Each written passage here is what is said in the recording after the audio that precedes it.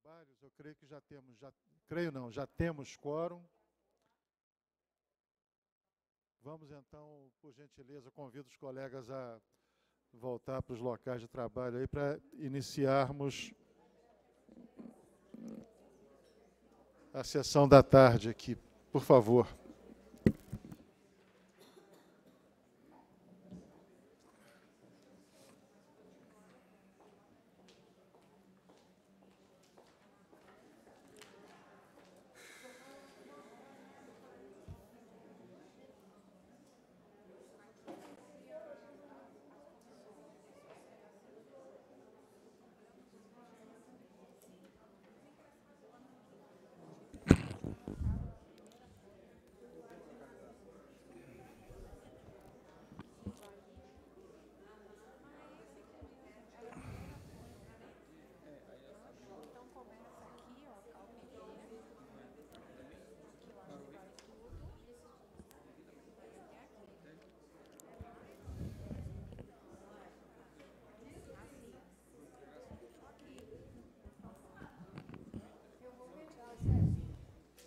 Ciao.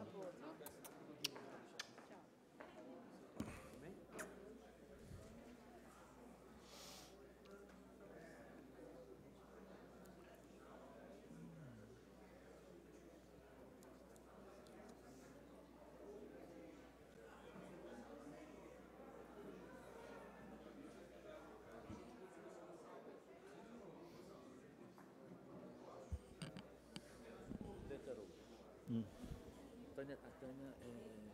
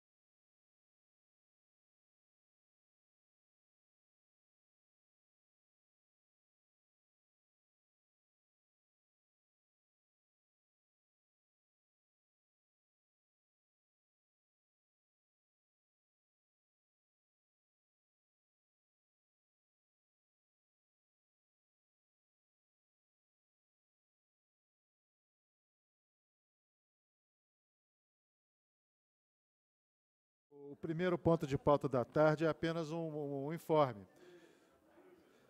Nós, é, em plenário anterior, determinamos um prazo para, a, vamos dizer, o exercício né, da comissão de inquérito que está tratando do assunto financeiro do Cal Maranhão, com a previsão de prorrogação por 30 dias, né, e essa prorrogação foi solicitada pela coordenação dos trabalhos. Então, é, é mais um informe ao plenário que, que, que, é, é que, nos termos daquela deliberação, foi concedida uma, uma prorrogação de 30 dias para a comissão de inquérito do CAL Maranhão. O documento está é, é, tá conosco. Se, acho que se quiser pode pôr na tela aí, Rodrigo, se tiver à mão. Né, é uma, uma portaria simples que prorroga o prazo e que certamente vai, deve estar no Dropbox dos colegas também.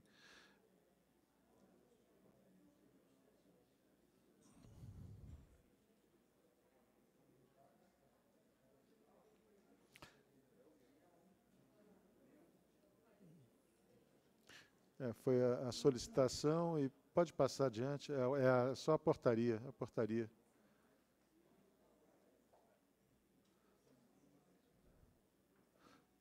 Bom, se não tiver, não tem problema. Coloca depois no Dropbox do, do, do, dos colegas conselheiros, né, para que tenham conhecimento é, é, do andamento dos trabalhos, tá bem? Basta colocar a portaria que é, que é suficiente. Então, o plenário está informado. Há alguma dúvida, algum esclarecimento a prestar? Tudo certo? Então, vamos adiante. Se tiver um café, eu aceito, tá? Então, vamos adiante, vamos entrar é, é, é, no, no segundo ponto de pauta da tarde, que é o projeto de deliberação plenária de julgamento do processo ético disciplinar, número 283521, de 2015 do CAL Mato Grosso, um recurso contra a decisão do CAL de Mato Grosso. Tem por origem a Comissão de, de, de Ética e Disciplina. O, os colegas coordenador e coordenador adjunto é, estão no, no, salão, mas não estão à mesa, então eu vou passar a palavra direto para a relatora, que é a colega Lana Jubé. Então, Lana, por gentileza itens é, anterior 6.3, né, que nós alteramos no início dessa sessão para 6.2. Sim. Bom, eu vou explicar rapidamente o processo, porque é um processo bem complicado, porque é uma falta, como a questão da RT, que tem acontecido muito no Brasil, principalmente nas prefeituras de interior, onde o arquiteto que aprova o projeto também faz projeto. Então, é uma falta grave. E essa falta, neste caso, tem alguns problemas, é, porque ela foi, a denúncia foi feita no começo do, da existência do Conselho. Só que a falta foi da época, a, o fato ocorreu na época que a gente ainda era junto com o CREA. Então, eu só posso julgar este fato pela lei do conselho anterior, por lei, e a lei é uma lei extremamente é, condescendente, vamos dizer assim, com as faltas profissionais. Além disso, é, em que pese ter uma reincidência enorme no mesmo fato, foram mais de 300 projetos, é, que foram captados dentro da prefeitura, teve projeto que entrou e foi aprovado no mesmo dia, de, geralmente de classe pobre, é, não é contado isso como reincidência. Então, eu fui, é, foi uma denúncia do Ministério Público, e eu fui obrigada, pela lei que eu julguei para não tornar o processo nulo e, portanto, ser arquivado. Eu fui obrigada a refazer a sentença, porque senão o processo pode ser julgado nulo e ser arquivado. Com um agravante, a diretora que aprovava o projeto e que captava os projetos, ela foi conselheira adjunta do Conselho da Gestão anterior, é, é, é suplente da gestão anterior. E ela disse que não conhecia a lei que diz que ela não pode aprovar um projeto da própria autoria. Então, é, é um processo bem complicado e eu peço bastante atenção, porque assim tive que fazer um relato bem longo, porque o, processo vai para o Ministério Público. Tá? Bom, é, então, processo 07 de 2013, protocolo SICCAL 283521 de 2015 e 87694 de 2013. Processo ético em grau de recurso, conselheira relatora Maria Eliana Gilber Ribeiro. Relatório e voto. Dos fatos. O presente processo trata de denúncia protocolada no CAL Mato Grosso, em 24 de maio de 2013, pelo Ministério Público do Estado do Mato Grosso, aqui denominado denunciante, motivada pela apresentação de provas e solicitação de providências da Prefeitura Municipal em desfavor dos arquitetos urbanistas denominados denunciados diante de indícios de improbidade administrativa. Folha 28. O processo é instituído com ofício da Prefeitura Municipal, datado de 29 de novembro de 2011, no qual solicita apreciação e providências sobre denúncias de exercício indevido da profissão de servidores lotados na Diretoria de Desenvolvimento Urbano, dentre os quais figuram os dois profissionais arquitetos, sendo que estes estariam supostamente elaborando projetos que posteriormente seriam aprovados por eles. Folha 2. Anexo aos autos, carimbos de pranchas de projetos arquitetônicos assinadas pela arquiteta denunciada, 3 a 8. A Prefeitura pensa cópia da ata de reunião do Conselho da Cidade de Concidade, em que aparecem as denúncias anônimas que foram apresentadas no CAL Mato Grosso, na qual consta que o servidor efetivo lotado na Diretoria de Desenvolvimento Urbano da Agência de Habitação, Regularização Fundiária e Desenvolvimento Urbano assina como responsável técnico de diversas obras do município, alegação reforçada alegação reforçada por registros fotográficos não anexados ao presente processo constatando, inclusive, que pelo menos um dos projetos foi elaborado nas dependências da agência, utilizando os serviços de uma estagiária, denunciada também a servidora, lotada na mesma diretoria, que estaria executando projetos particulares durante o horário de expediente e em benefício da diretoria. Folhas de 9 a 12.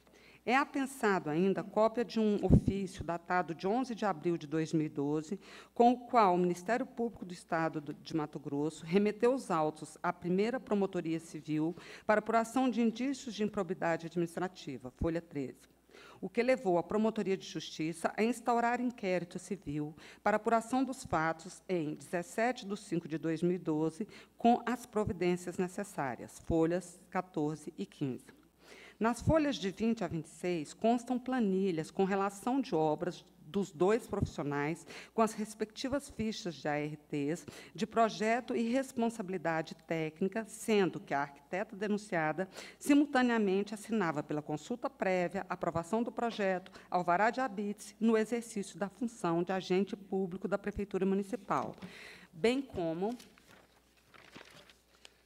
inúmeros projetos de autoria e responsabilidade técnicas assinada por, por esta servidora, este como servidor efetivo, pelo outro denunciado, este como servidor efetivo do órgão de aprovação e que também teve seus processos de aprovação assinados nas distintas fases pela arquiteta supracitada.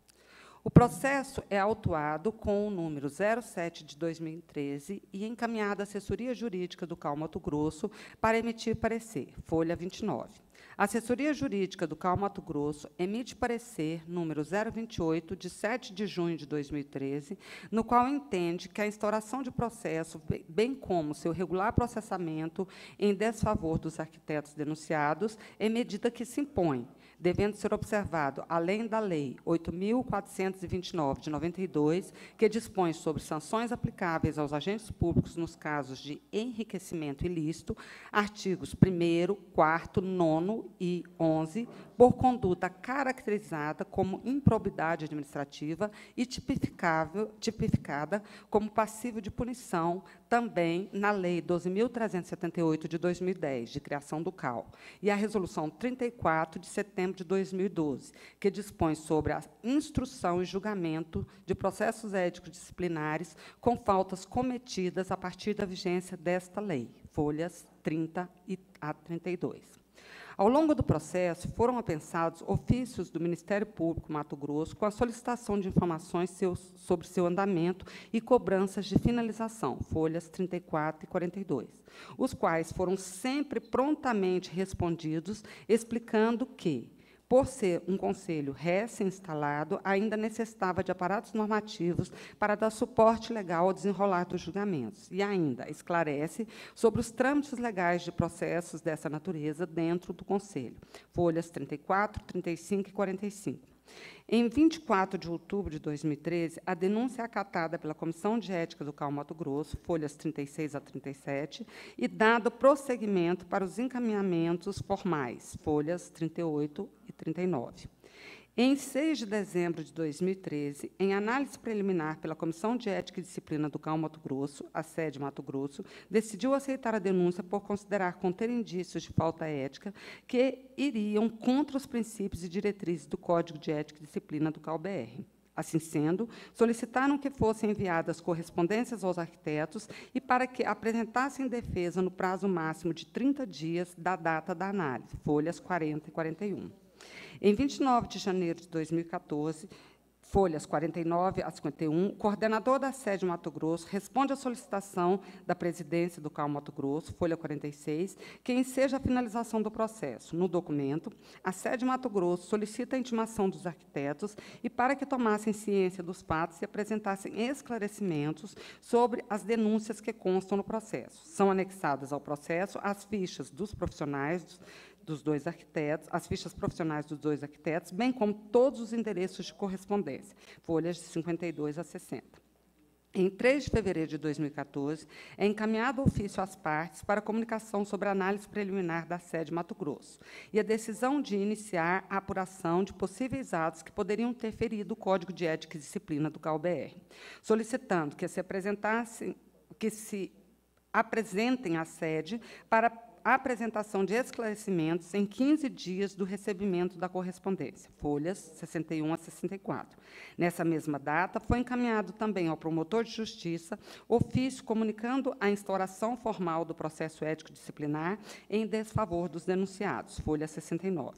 Em 14 de fevereiro de 2014, e, em 17 de fevereiro de 2014, compareceram ao CAL Mato Grosso, respectivamente, os denunciados, para tomar ciência da denúncia, sendo que a denunciada tirou cópia do processo, folhas de 76 a 78.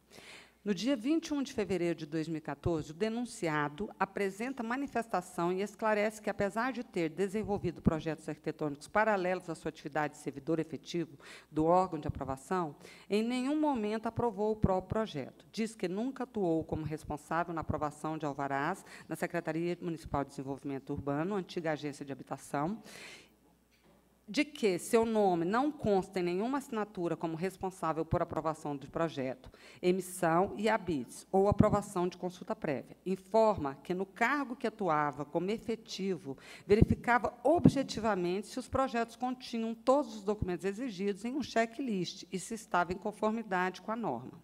Se houvesse alguma pendência, o processo era devolvido ao proprietário para saneamento das exigências. Porém, se tudo estivesse em conformidade com as exigências normativas, encaminhava o processo à diretoria, à diretora da Secretaria Municipal de Desenvolvimento Urbano para que procedesse à aprovação do projeto.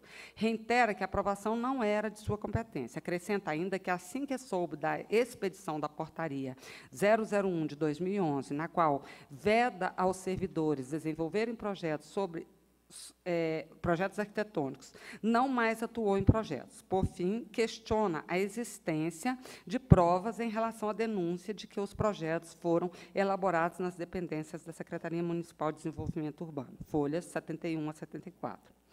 Em, no dia 25 de fevereiro de 2014, a denunciada apresenta a defesa preliminar, na qual afirma ser inverídica a afirmação de que teria utilizado proveito de seu cargo público para aprovação de projetos particulares, pois seus projetos sempre seguiram o trâmite necessário para, para aprovação condizente com as normas municipais e federais.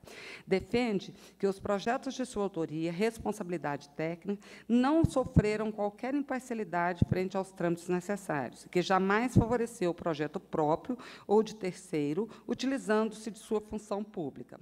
Diante do exposto, requer o acolhimento da defesa e o arquivamento do processo, folhas 78 a 84.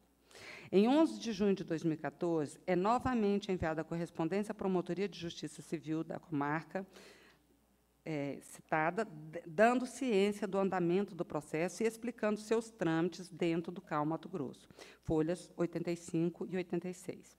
Em 20 de agosto de 2014, são emitidas pelo CAL Mato Grosso correspondência aos denunciados, notificando-os da audiência de instrução, que se realizaria em 12 de setembro de 2014, em horários sequenciais, 15 e 16 horas, na sede do Conselho. Ambas as ARs constam como recebidas em 1 de setembro de 2014, folhas de 87 a 98.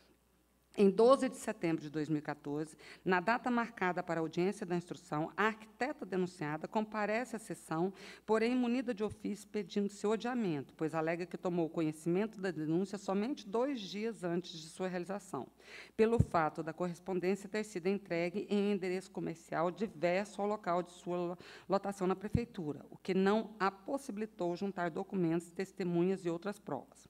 Solicita a remarcação da sessão de instrução para que possa garantir sua defesa. Folha 101. Diante da informação, a sede Mato Grosso decide decidiu adiar a audiência instrutória para 10 de outubro de 2014, ficando a, denunciada automaticamente convocada, folhas de 99 a 101. No mesmo dia, em 12 de setembro de 2014, aconteceu a audiência de instrução do denunciado. Este informa que, logo após a denúncia, pediu licença sem vencimento e ratificou a informação de que apenas instruía e analisava os processos dentro do setor, mas não os aprovava. Relata que tinha noção do estatuto profissional, mas desconhecia a existência do artigo que proibia a conduta. E assim que teve conhecimento de que não poderia desempenhar tal atividade, deixou de elaborar projetos. Declara que seus projetos eram feitos em casa e não nas dependências da prefeitura, e que a estagiária o ajudava, mas fora do horário de serviço. Ao ser questionado sobre quem era o chefe do setor, citou a arquiteta denunciada, sendo que esta nunca havia alertado da proibição estatutária.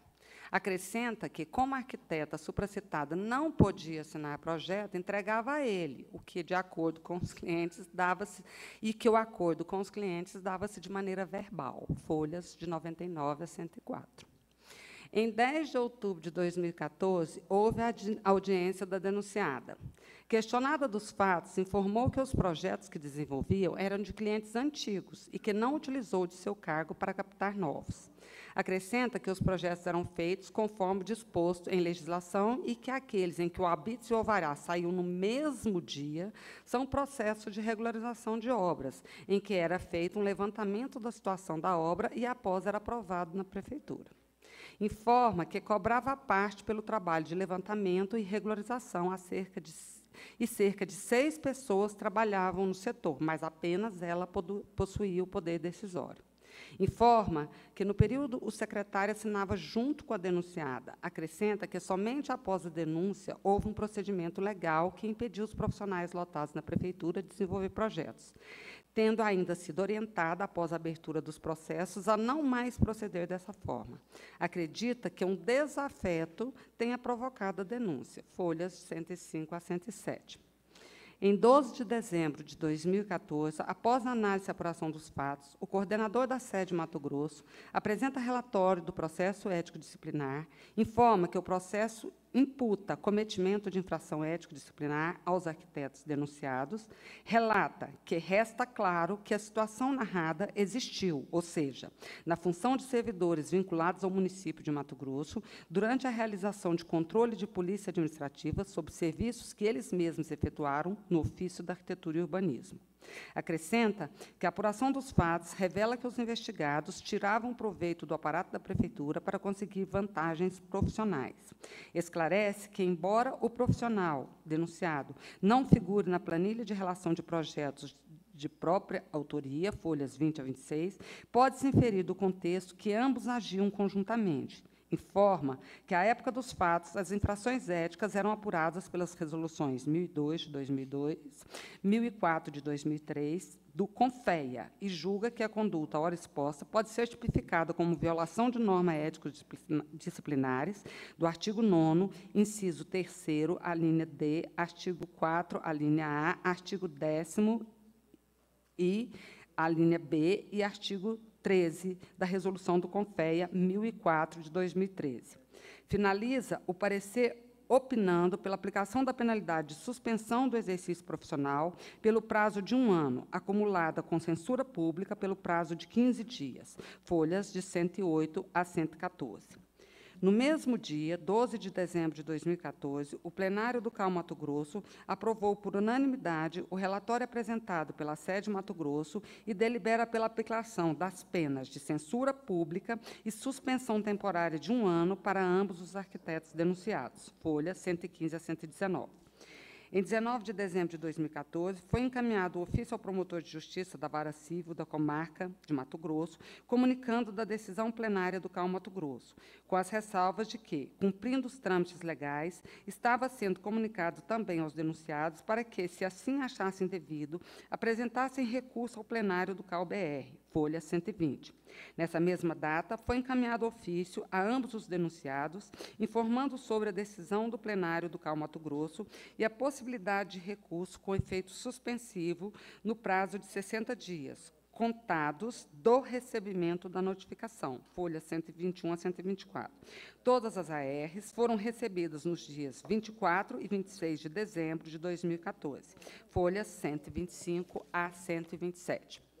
No dia 23 de fevereiro de 2015, a denunciada apresenta recurso informa que os fatos não foram cometidos mediante dolo ou má-fé e, portanto, deveria ser relevada a pena de suspensão do exercício profissional da qual considera a qual considera abusiva. Destaca que a recorrente sempre priorizou a honra e o trabalho digno e não agiu de forma a prejudicar o erário considera a sanção aplicada como sendo desproporcional por não possuir reincidência de falta ética. Informa que o artigo 74 da Lei 5.194-66, em em seu artigo 74, estipula que, em casos de nova reincidência das infrações previstas no artigo anterior, será imposta, a critério das câmaras especializadas, suspensão temporária do exercício profissional por prazos variáveis de seis meses a dois anos, e pelos conselhos regionais, em pleno, de dois a cinco anos. Assim, a sanção de suspensão de um ano teria sido aplicada inadequadamente, já que, mesmo sendo, sem reincidência, foi condenada à suspensão do exercício profissional. Considerando o exposto, a denunciada requer que a pena de suspensão seja substituída pela pena de advertência reservada ou multa. Folha 129 a 136. Anexa ainda cópia do relatório do processo, datado de 12 de dezembro de 2014, da sede Cal Mato Grosso, no qual foi julgada, bem como sua notificação e ainda um certificado de sua contribuição como conselheira na gestão fundadora do Cal Mato Grosso. Folhas 137 a 147. No dia 26 de fevereiro de 2015, o denunciado interpõe recurso frente à decisão do plenário do CAL Mato Grosso e, em seu arrazoado, reafirma que em nenhum momento atuou na Secretaria Municipal de Desenvolvimento Urbano, aprovando ou fiscalizando qualquer projeto arquitetônico de sua criação. Reafirma nos autos do processo administrativo reafirma nos autos do processo administrativo, restou apenas comprovado que o recorrente era lotado em repartição de fiscalização, mas sem exercer a competência de aprovação dos projetos, limitando-se apenas à conferência dos documentos. Ao final, o denunciado pede sua absolvição sumária por entender não restar comprovada qualquer conduta ilícita por ele praticada e que tenha gerado prejuízo ao erário público. Porém, se a instância recursal entender pela aplicação da pena, o denunciado entende ser proporcional à aplicação um, da pena mínima, posto que a suspensão do exercício profissional e o impedimento de atuar em sua profissão mostram-se além do necessário para o caso. Folhas 149 a 152. Em 20 de julho de 2015, a sede Mato Grosso reconhece o recurso interposto e encaminha o processo à presidência do Conselho para providências cabíveis. Folha 153. Em 30 de julho de 2015, o presidente do CAL Mato Grosso encaminha o presente processo ético-disciplinar ao CAL-BR para análise e julgamento em grau de recurso. Folhas de 154 a 158. Em 10 de junho de 2016, o presente processo é encaminhado à conselheira federal, arquiteta e urbanista Maria Eliana Gilberto Ribeiro, membro da Comissão de Ética e Disciplina do Conselho Federal, sede CalBR, para emitir parecer conclusivo sobre os fatos. Posto o relato, passa a analisar o recurso. Considerando, na, considerando que na resolução de 25, 25 do Conselho de Arquitetura e Urbanismo do Brasil, CalBR, de 6 de julho de 2012, que trata da instrução e julgamento de processos relacionados a pautas ético-disciplinares cometidas antes da vigência da Lei 12.378 de 2010 e sobre a instauração de processos de denúncia após essa data, em que, no seu artigo 1 prevê que, nestes casos, os processos serão autuados, instruídos e julgados com observância nas disposições das resoluções 1002 de 2002, 1004 de 2003 e 1008 de 2004 do Conselho Federal de Engenharia engenharia, arquitetura e agronomia.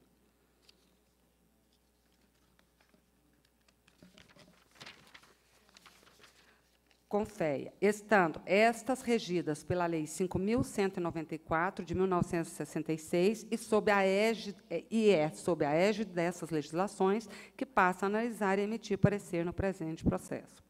Considerando que, em 12 de setembro de 2014, houve audiência de instrução do denunciado, em que este informa que apenas instruía e analisava os processos dentro do setor, mas não os aprovava, tendo relatado ainda que tinha noção do estatuto profissional, mas desconhecia a existência do artigo que proibia a conduta.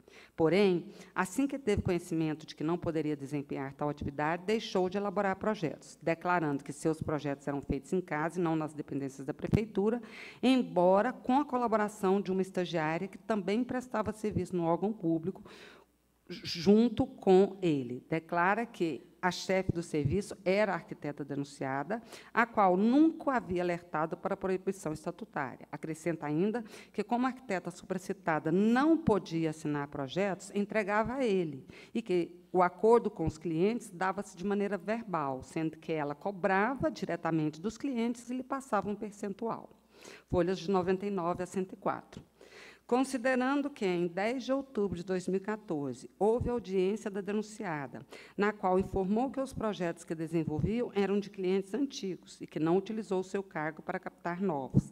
Acrescenta que os projetos eram feitos conforme disposto em legislação e aqueles em que o habite e o alvará saíam no mesmo dia são processos de regularização de obras, em que era feito um levantamento da situação da obra e, após, era aprovado na prefeitura. Informa que cobrava a parte pelo trabalho de levantamento e regularização organização e cerca de seis pessoas trabalhavam no setor, mas apenas ela possuía poder decisório e que, neste período, o secretário assinava junto com ela. Por fim, acrescenta que somente após a denúncia houve o procedimento legal que impediu os profissionais lotados na Prefeitura de desenvolver projetos, tendo ainda sido orientada, após a abertura do processo, a não proceder mais dessa forma. Folhas de 105 a 107.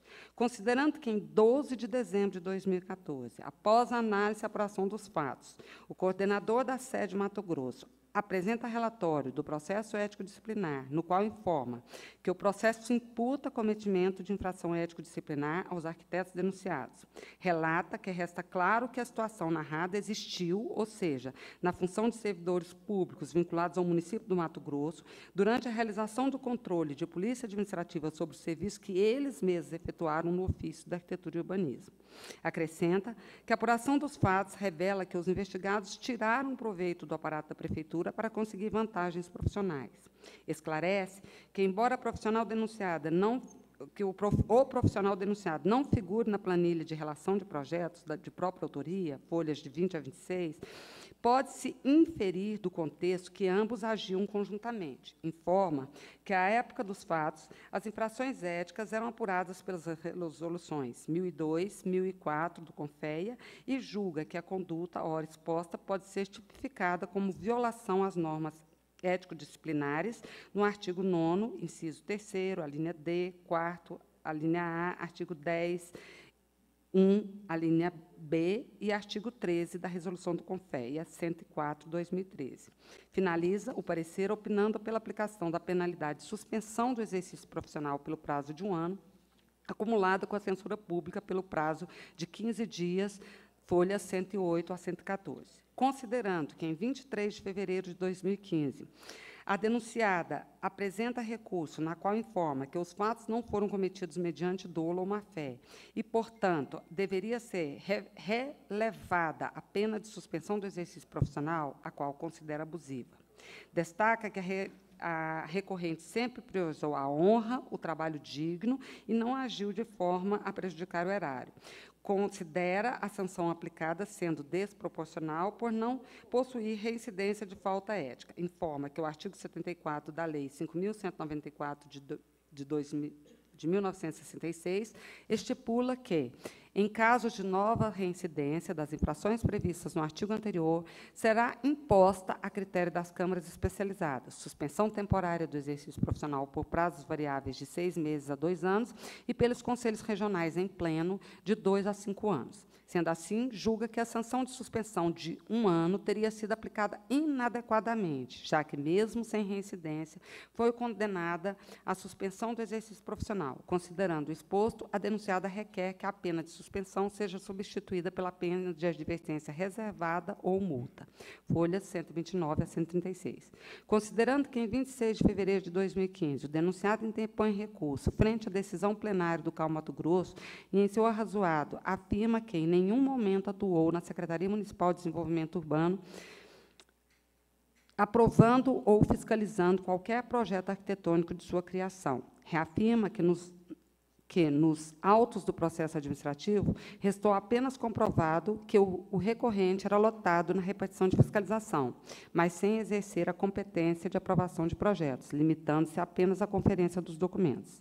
Ao final, o denunciado pede sua, de, sua absolvição sumária por entender não restar comprovada qualquer conduta ilícita por ele praticada e que tenha gerado prejuízo ao erário público. Ressalva, porém, que se a instância recursal entender pela pela aplicação de pena, da pena, o denunciado entende por ser proporcional à aplicação da pena mínima, posto que a suspensão do exercício profissional e o impedimento de atuar em sua profissão mostram-se além do necessário para o caso. Folha 149 a 152.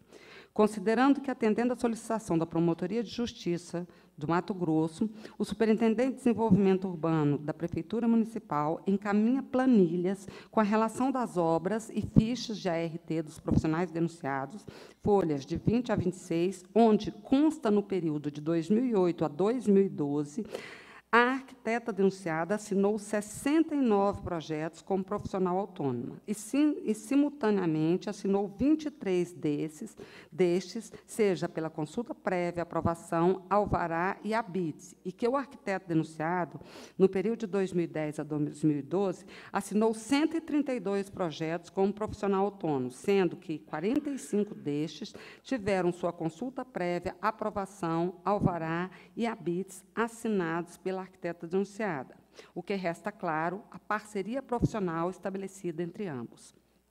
Considerando que no artigo 71 da Lei 5.194, de 1966, prevê as penalidades de advertência reservada, censura pública, multa, suspensão temporária do exercício profissional e cancelamento definitivo do registro, todas aplicáveis de acordo com a gravidade da falta.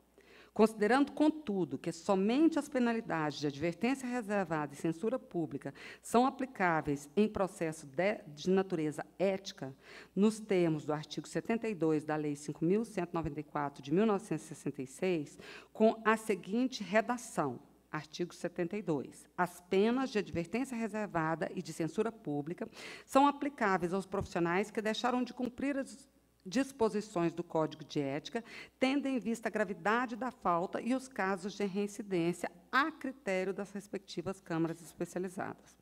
Considerando que a possibilidade de aplicação da penalidade de suspensão, prevista no artigo 74 da Lei 5.194 de 1966, tem como pressuposto uma nova conduta reincidente, situação que não se verifica em relação aos profissionais denunciados, sem contar que o referido dispositivo não tem aplicação em relação às infrações de natureza ética, para os quais somente são cabíveis, como visto, as sanções de advertência reservada e censura pública.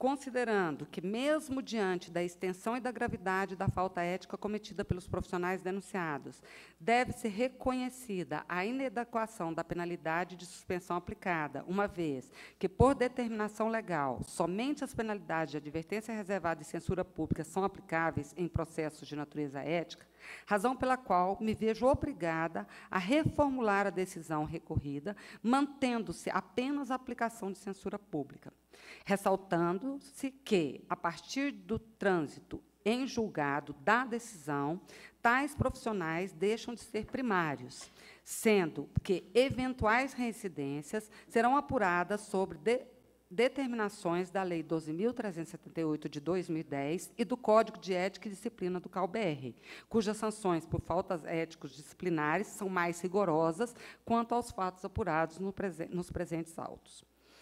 Voto Ante ao exposto, tendo ficado claro que a conduta dos arquitetos denunciados configurou falta ética pelo exercício cumulativo de funções em que ambos exerciam controle de polícia administrativa sobre serviços que eles próprios efetuavam no exercício da arquitetura urbanista, urbanismo como autônomos, surgir ao plenário do CalBR, diante da extensão e da gravidade das infrações, a manutenção da penalidade de censura pública, com fundamento no artigo 72 da Lei 5.194 de 1966, afastando, entretanto, a penalidade de suspensão aplicada pela decisão recorrida, uma vez que, nos termos do referido artigo 72, somente as penalidades de advertência reservada e censura pública são aplicáveis em processos de natureza ética, sendo inaplicável nos presentes autos a previsão do artigo 74 dessa lei, que dispõe sobre suspensão por conduta reincidente.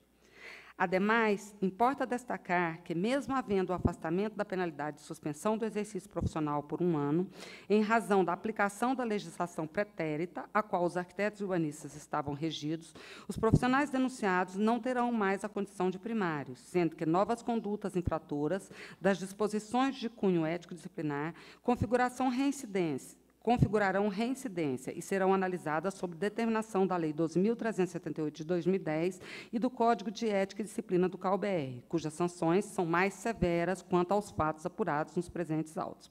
Em tempo, transitada em julgado, a, de a, decisão determina o retorno dos autos ao CAL de origem para que comunique da, de da decisão aos interessados, denunciante e denunciados e cumpra-se os demais trâmites legais e regulamentares.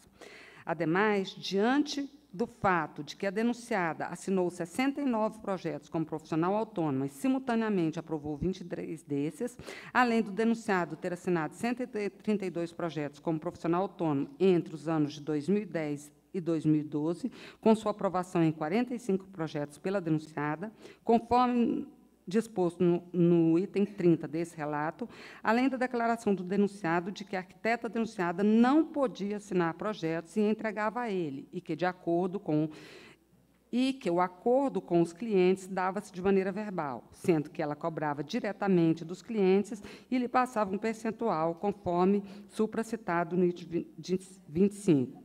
Proponho que o, CAL Mato Grosso instaure procedimento de ofício para, o, para apuração de acobertamento profissional de ambos os denunciados.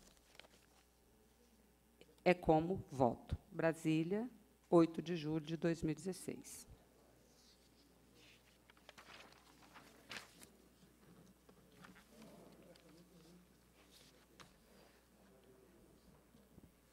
A deliberação? Sim.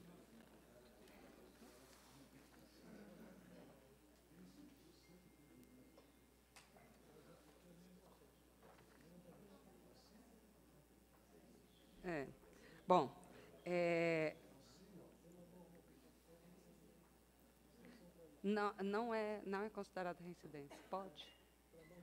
Só tem uma denúncia, então não é reincidência. Brincadeira. É. Processo 07-2013, protocolo SICCAL 2000, é, 28 35 21 de 2015, 87 694 2013. Deliberação número 106 de 2016. É, não, essa é da sede. Vou ler a deliberação da plenária. DPOR 056 de 2016. Aprova nos termos da deliberação número 106, 2016, sede CalBR o plenário do Conselho de Arquitetura e Urbanismo do Brasil, CalBR, no exercício das competências e prerrogativas de que trata a seção 1, artigo 9 do Regimento Geral do CalBR, reunido ordinariamente em Brasília, no dia 21 de julho de 2016, após a análise do assunto em epígrafe e, considerando o disposto no artigo 10 no inciso 10, artigo 9 da Resolução número 33 do CalBR, Regimento Geral, que determina que compete ao plenário do CalBR julgar em grau de recurso as questões decididas pelo CAL-UF, considerando o disposto no artigo 33 da Resolução número 34 do CAL-BR, que determina que, da decisão proferida pelo CAL-UF, as partes poderão interpor recurso com efeito suspensivo ao plenário do CAL-BR e, considerando o relatório e voto da relatora Maria, conselheira Maria Eliana Jubé Ribeiro, referente ao processo ético disciplinar 07 de 2013,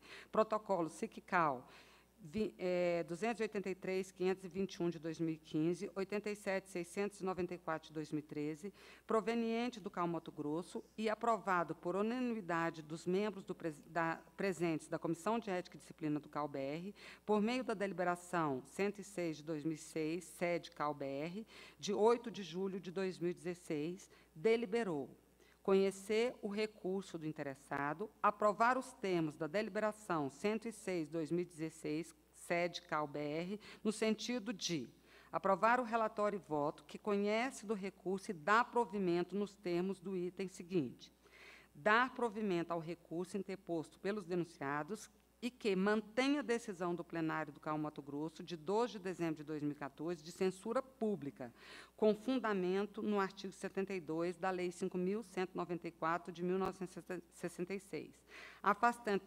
entretanto, a penalidade de suspensão aplicada pela decisão recorrida, pois, nos termos do referido artigo 72, somente as penalidades de advertência reservada e censura pública são aplicáveis em processos de natureza ética sendo aplicáveis sendo inaplicável nos autos do processo a previsão do artigo 74 dessa lei, que dispõe sobre suspensão por conduta reincidente. Essa deliberação plenária entra em vigor na data da sua aprovação. Obrigado, Lana. Em discussão. Fala... Desculpe, palavra está com o plenário. Eu tenho uma pergunta. Colega Gislaine. Uh, Lana, a, ao final do teu relato, tu pede para fazer alguma coisa ali pelo CAL. Uhum. A última frase do relato está uhum. sugerindo algum tipo de ação do uhum. CAL. Por que, que não está no voto? Bom, porque Por que, que não está no, uh, no voto da deliberação plenária? Sim. É, o doutor Eduardo me ajudou a fazer isso, porque tem que instaurar processo de ofício. Então, é uma sugestão para que o CAL, o F, faça isso. Mas não teria que estar na deliberação plenária. Para a gente aprovar aqui que faça isso, tem que estar na deliberação plenária. Sim, doutor Eduardo, precisa obrigatoriamente estar na deliberação plenária?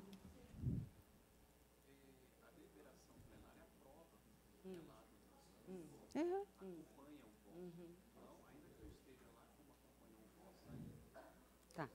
É, não, não tem problema nenhum colocar, não, Gislaine, mas pela informação aqui é que a deliberação plenária está aprovando. Não, eu entendi, então eu entendi. Só estar. que o que, que acontece na hora que for uh, publicada a deliberação, ela não está dizendo tudo que está ali como ação necessária que foi deliberado pelo voto da conselheira da comissão. Uhum. Então, me parece que todas as ações oriundas do voto da deliberação da comissão deveriam constar da deliberação plenária.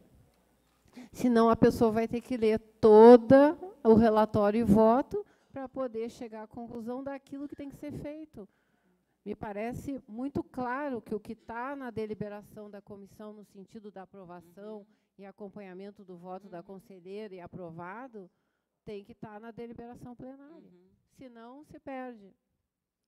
Ok, para mim não tem problema nenhum. Sim. Colega Fernando, na sequência o colega Anderson. É, só continuando o que falou a Gislaine, até porque a, a, publicação no site do CAL, depois das deliberações plenárias, vão só a deliberação, não vai todo o relato, né, até para que dê conhecimento, quem procurar saber o que é que deu do processo. Mas o que eu queria, é, uma observação só que eu achei, é, assim, é, uma outra coisa que você não observou, mas que também não é relevante, porque você, você observou que não deveria ter sido julgado com base na norma atual, ensina do, do CONFER. Mas mesmo na, a, o julgamento atual, eles fizeram cumulativo duas, duas sanções que não, se, não, não podem ser cumulativas. Né? Uhum. A sanção, a suspensão e a, e, a, e a, advertência não pode ser cumulativa. Né? Não. É mais uma Seria coisa que, multa. que a Comissão de Ética precisa ser alertada também, que é. para não fazer isso novamente. Anderson, por favor. Bem, se eu entendi a colocação da Gislaine, é, o que está na tela é uma deliberação plenária, né? Uhum. Não é isso? Isso. Aí, Lana, se me permite, Gislaine, me corrige, por favor, mas é, não necessitaria do, item A, aprova o relatório e voto e conhece o recurso que dá provimento, porque quem aprova o relatório e voto é a comissão. A comissão, a sede. Certo? O que está vindo a plenário é a deliberação da comissão. E aí, por isso, a colocação da Gislaine com relação ao que é que está se dando de provimento, o que, que o plenário está aprovando. E aí é importante estar na deliberação as colocações que a comissão assim julgou é, é, correto fazer.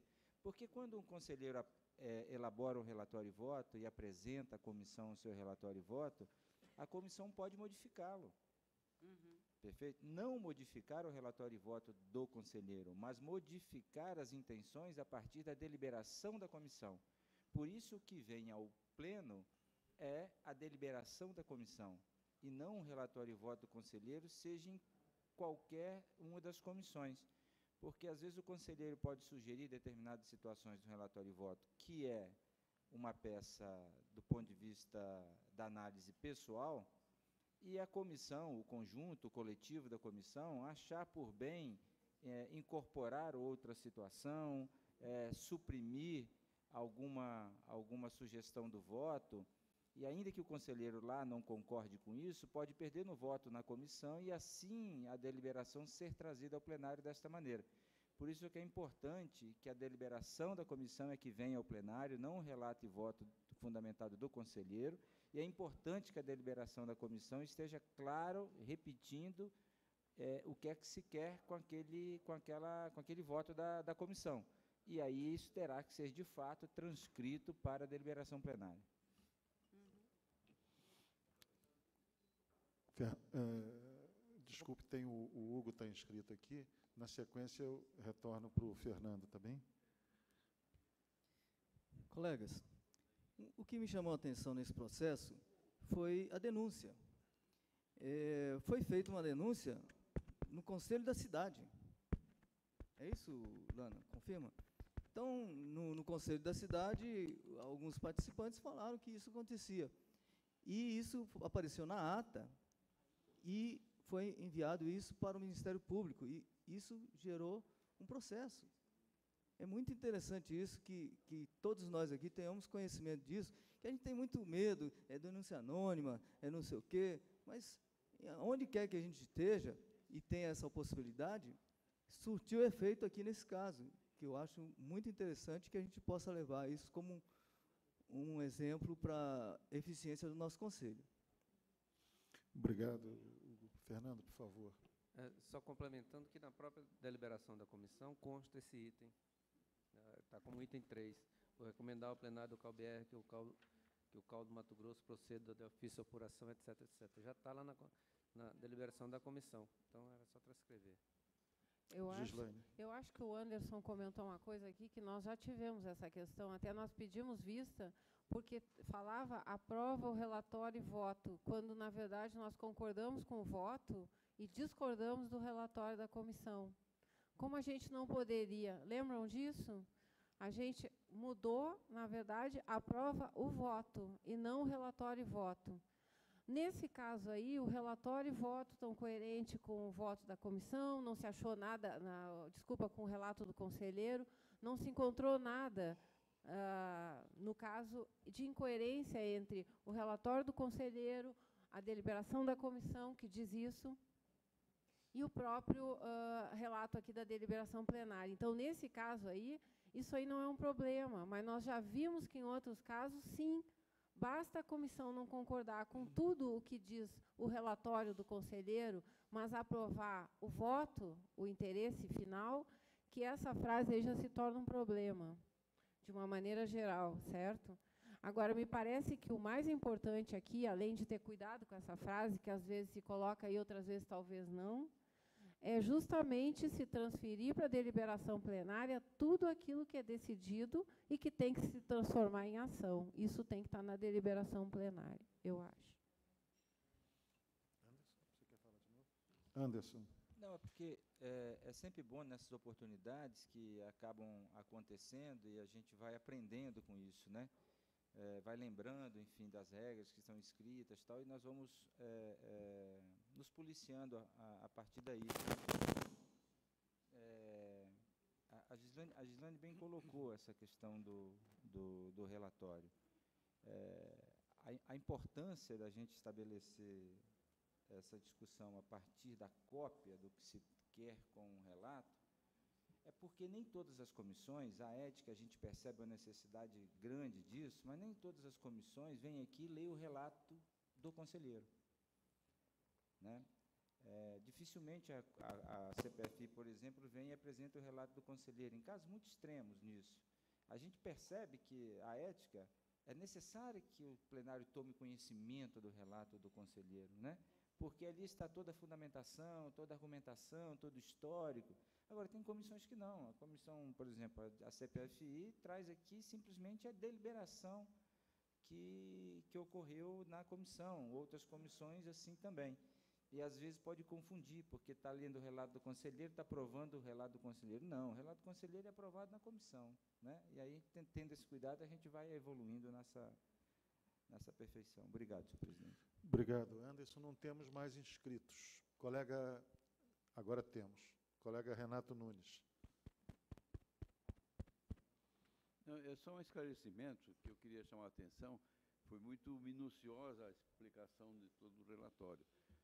E o que nós notamos na comissão de ética, quando analisamos isso, foi que, apesar de toda a minúcia do próprio comissão de ética do, do Estado, passou despercebido o, o grande, é, o exagero do acobertamento. E não havia punição. Era só a, a, a assinatura e a aprovação. Agora, a máquina toda procedia ao acobertamento. Por isso que entrou no final como recomendação para voltar para trás, para que de ofício eles observassem isso. Agora, eu concordo plenamente que, já que isso é um relato, uma apreciação geral, tenha que constar da, da, deliberação plenária nossa agora. Né? Mas era só um esclarecimento em relação a essa é, pouca percepção se, que aconteceu na instância primeira de julgamento. Né?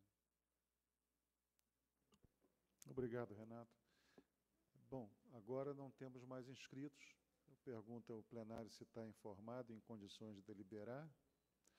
Ah, eu consulto a, a, a, relatora né, se acolhe as sugestões, a primeira de eliminar o, a letra A e, e, e, o acréscimo do que está como letra C. Né? Na verdade, teria que é, alterar os, as letras, caso a colega concorde. Né?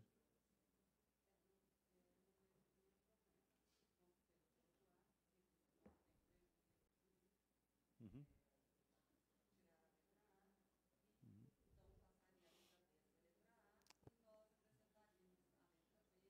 Que seria a segunda ação, que é dar, é, terminar esse processo com a penalidade e instaurar uhum. um novo processo de acobertamento. Certo. Então, na, na, deliberação, Rodrigo, por gentileza, pode eliminar ali, é, sim, mas ela já concordou, pode remover. Pode remover a letra A. É, remover a letra A. E, E aí e- a B, Rodrigo, é, a- você tem aí o, a deliberação da sede?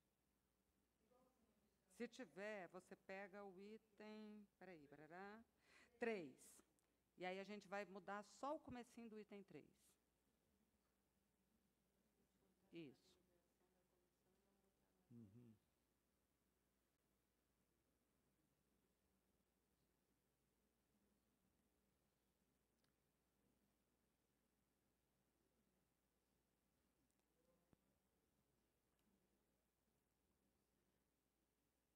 Sugerir ao CAL Mato Instaure o procedimento de ofício É, pode tirar o, o por, né? É, Deixar apenas o verbo, né? Recomendar. isso, recomendar ao CAL Mato Grosso, porque é o plenário que está recomendando. Ao plenário do Calma. é, é. É, não, porque o plenário CAL do CAL. BR que está recomendando. Recomendar ao CAL Mato Grosso que proceda de ofício a apuração do acobertamento profissional diante do relato de do denunciado em que se constatou a aprovação de inúmeros projetos por eles desenvolvidos. pelos denunciados, Hã? desenvolvidos pelos denunciados. É, acobertamento profissional, tá. Desenvolvidos pelo denunciado. Me permite? Pode. Está escrito ali, ó, Pode. inúmeros projetos por eles desenvolvidos, só que o eles não está citado em lugar nenhum. Pelos Então tem que dizer desenvolvidos pelos denunciados. Isso.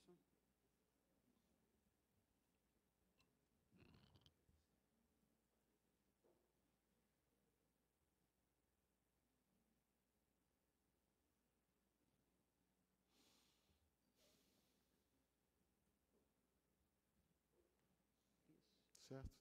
Certo. Tira o B lá, porque ia Os ficar- colegas estão de acordo? Todos estão de acordo? Então remove o, o- isso, pronto. Tá certo? Podemos então. Obrigado, Lana. Alguma coisa mais? Podemos proceder à votação, então. Todos estão bem informados, têm condição de deliberar sobre a sanção. Então, pode colocar na tela, por favor, Rodrigo. Os que acompanham o relato da comissão digitam um, os que não acompanham dois, os que se abstêm três. Pode aumentar o quadro em regime de votação.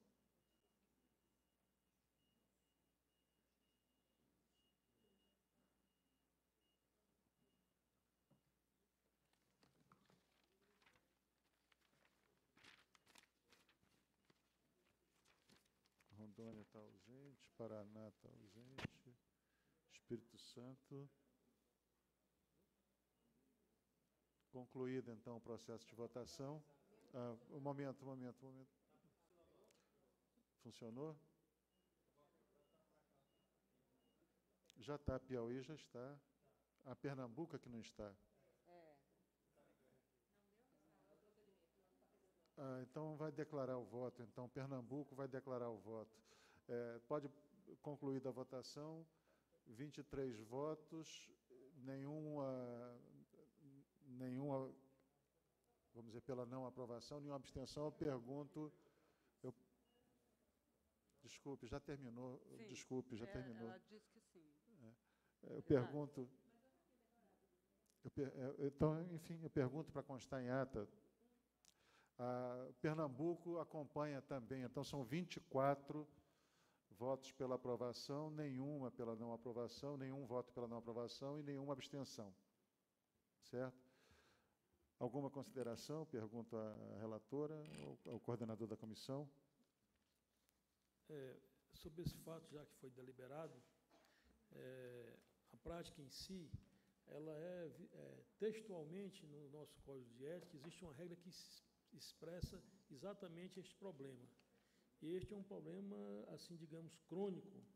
Já se discutiu isso é, na Comissão de Ética e também a CEP, conversei aqui com conselheiro Hugo algumas vezes, é, esse problema em relação à aprovação de projetos nas prefeituras.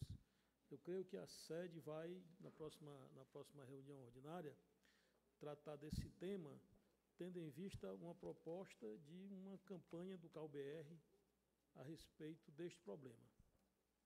É isso, presidente. Obrigado, colega Napoleão, colega Lana, demais membros da Comissão de Ética e Disciplina, e passo, então, ao próximo item da pauta. Projeto de deliberação plenária de julgamento do processo ético disciplinar número 358-273 de 2015, que vem do CAL Santa Catarina. A relatora e a conselheira Cássia Abdala, eu passo a palavra ao coordenador da comissão para abrir o trabalho. Colega Napoleão. É, eu, presidente, obrigado. Passaria a palavra à relatora, a conselheira Cássia Abdala, para fazer o relato e apresentar o voto da deliberação da comissão. Bom, boa tarde. É, processo protocolo SICAL número 277-821-2015. O assunto é processo ético em grau de recurso e a relatora Ana de Cássia Moraes Abdala Bernardino. Relatório e voto dos fatos. O processo trata de denúncia protocolada no CREA Santa Catarina em agosto de 2009, em desfavor de uma empresa de construção civil cujo responsável técnico é um arquiteto e urbanista. A denunciante alega que as reformas de seu apartamento feitas pela empresa, com início em setembro e término em dezembro de 2007, apresentaram problemas de infiltração logo após sua conclusão em janeiro de 2008, folha 01. Na época, procurou o PROCON, onde foi acordado que as pendências seriam refeitas pela empresa. Mesmo após os reparos, relata a denunciante que os problemas ainda persistiam, tendo que arcar com custos da correção dos serviços. Informa ainda que a anotação de responsabilidade técnica, ART, de execução, foi solicitada, mas nunca apresentada pela empresa. Anexou várias fotos da obra, bem como documentos, como requerimento ao PROCON, notificação extrajudicial acerca de defeito na prestação de serviço e termo de audiência do PROCON, contrato social da empresa de prestação de serviços de mão de obra, recibos, solicitação de materiais, além de documentação da própria denunciante, folhas 2 a 109. Após a verificação da falta de ART referente à obra, em julho de 2011, o CREA Santa Catarina instaura processo administrativo número 6.09/415-6 e encaminha à Câmara Especializada de Arquitetura para relato e parecer, folhas 110 a 115. Em agosto de 2011, a Câmara Especializada de Arquitetura do CREA Santa Catarina apresenta relatório e voto e delibera pela notificação à empresa e ao profissional para que apresente manifestação a respeito da ausência de RT da obra no prazo de 10, de 10 dias. O documento encaminhado em setembro de 2011 não obteve êxito de recebimento, razão pelo qual novamente foi reenviado em outubro de 2011, folhas 116 a 124. Em novembro de 2011, o arquiteto encaminha sua manifestação à Câmara Especializada de Arquitetura, dizendo que não verificou nenhum fato ou ato atribuído a ele como profissional denunciado. Informa desconhecer a denunciante e que jamais teve qualquer vinculação com ela. Por isso, espera que a Câmara julgue a denúncia improcedente, consequentemente, o processo administrativo. Nesse mesmo mês, novembro de 2011, o setor de ética do CREA Santa Catarina apresenta relatório feito pelo assessor jurídico, Dr. Adriano Chaves, que verifica possíveis indícios de cometimento de falta ética, conforme o que estabelece a resolução 1002-02 do CONFEA, e sugere o encaminhamento à Comissão de Ética Profissional para a devida instrução e apuração da, da conduta ética do profissional.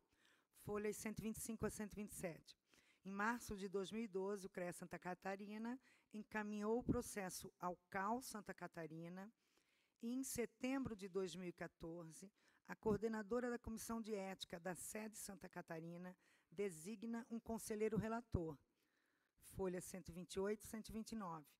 Com vistas à instrução do processo, a Comissão de Ética, em novembro de 2014, solicita encaminhamento de correspondências para esclarecimentos e providências tanto ao denunciado, empresa e arquiteto, como a denunciante, folha 130 a 135. Como não houve manifestação em janeiro de 2015, novamente o arquiteto denunciado é intimado a informar se foi ele, como responsável técnico da empresa contratada, que acompanhou os serviços da obra citada no, no processo, se foi outro profissional ou mesmo se nenhum profissional acompanhou a execução dos serviços. Folha 136 a 139. Em março de 2015, o denunciado apresentou manifestação intempestiva, uma vez que o prazo já havia exaurido. No relato, informa que não recolhia a RT de execução nos serviços realizados pela empresa, e sim a RT de condução de mão de obra, que nesta obra não havia sido registrada porque a denunciante possuía projeto e profissional responsável. Para tanto, anexa, anexa cópia de parte do carimbo do projeto fornecido para execução da obra, no qual consta o nome de um design de interiores como responsável. Folha 140 a 144. Em abril de 2015, o conselheiro Sérgio Oliva é designado relator pela coordenadora da Comissão de Ética do CAL Santa Catarina, conselheira Silvia Ribeiro Lenze, bem como é encaminhado intimação ao arquiteto denunciado para comparecimento à audiência de instrução no Conselho, marcada para julho de 2015. Em resposta, o arquiteto solicita que seu depoimento seja tomado mediante questionário em substituição a essa intimação, conforme prevê a Resolução 1004-2003 do CONFEA, em virtude da impossibilidade de deslocamento da cidade onde mora até Florianópolis, pois cuida de seu filho com necessidades especiais. Folhas 145 a 148. Em maio de 2015, o relator da Comissão de Ética Profissional apresenta relatório e parecer fundamentado, no qual resume o conteúdo dos autos e defere o requerimento do arquiteto denunciado para que seu depoimento seja tomado mediante questionário a ser elaborado pela comissão, nos termos do artigo 15 da Resolução Confeia número 1004/2003, folhas 149 e 150. No mesmo mês, maio de 2015, a empresa, cujo arquiteto responsável técnico foi notificada através de seu representante legal para comparecimento à audiência de instrução marcada para junho de 2015. O ofício foi reenviado no início de julho de 2015, devido à alteração do nome empresarial, como também da data da audiência de instrução, transferida para outubro de 2015, mas sem êxito no recebimento. Folhas 151 a 157. Em julho de 2015, o arquiteto denunciado é intimado a responder o questionário, oficializando seu depoimento no prazo máximo de 30 dias a contar do recebimento da correspondência. Porém, o arquiteto denunciado apresenta as respostas do questionário novamente de forma intempestiva, somente em setembro de 2015, folha 158 a 165. O relator da matéria, conselheiro Sérgio Oliva, em outubro de 2015, apresenta relatório e voto aprovado por unanimidade pela comissão. Em seu fundamento, esclarece que o profissional denunciado, desde a época dos fatos, é o responsável técnico da empresa. Informa que, por se tratar de, um empre... de uma empreiteira de mão de obra da construção civil, os serviços técnicos realizados deveriam ser conduzidos pelo responsável técnico, que deveria elaborar para todo e qualquer contrato ART de condução, conforme consta no Manual de Procedimento de ART, o que não aconteceu. Opina que o denunciado tenta se eximir de suas obrigações e esclarece que, embora a elaboração e execução do projeto arquitetônico fossem de responsabilidade do cliente denunciante, o denunciado deveria observar que o profissional do denunciante, cuja habilitação é em design de interiores, não possui competência para executar serviços como quebra e execução de paredes, instalações hidráulicas e elétricas, entre outros. Ante o exposto, propõe a aplicação da sanção de advertência reservada, conforme estabelecido no artigo 71, a linha A da Lei número 5.194, de 1966, e artigo 52, parágrafo 1 da Resolução Confeia número 1004, 2003, folhas 166 e 169.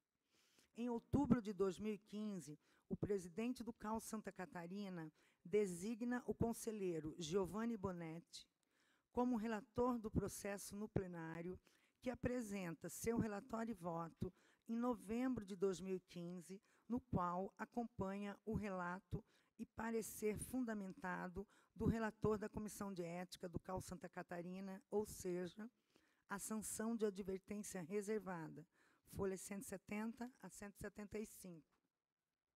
O plenário do CAL Santa Catarina decide por unanimidade, em novembro de 2015, acatar a sugestão da Comissão de Ética e aplicar a penalidade de advertência reservada.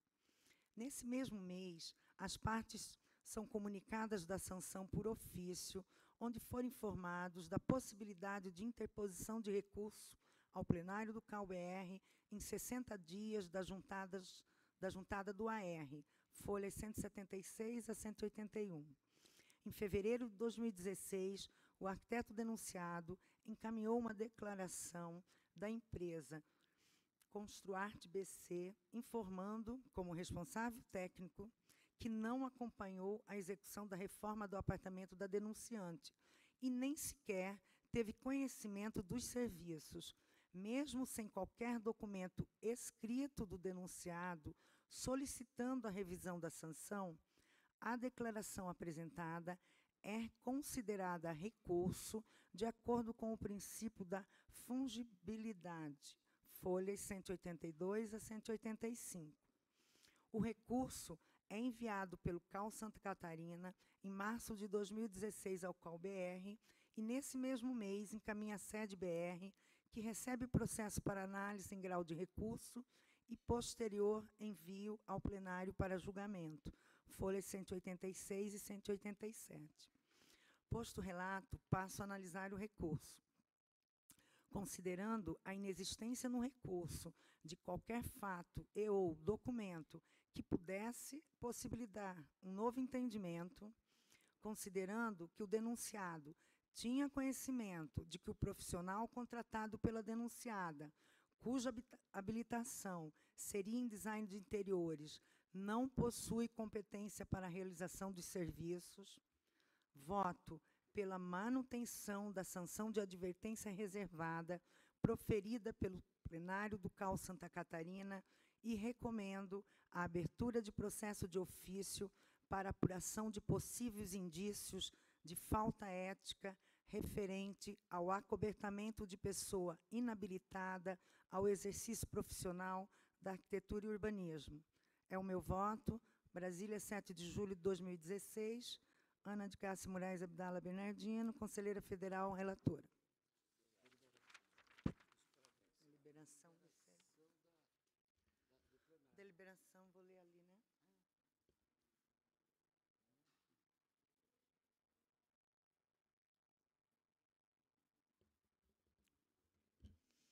Bom, vamos lá.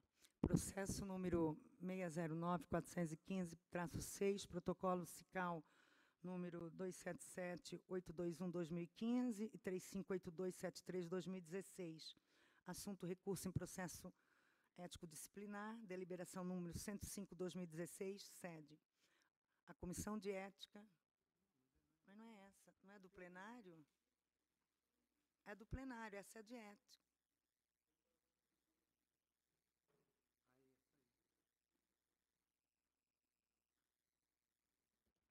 Processo número 609-415-6, protocolo fiscal número 277-821-2015 e 358273-2016, interessado sigilo, assunto julgamento de recurso em processo ético disciplinar.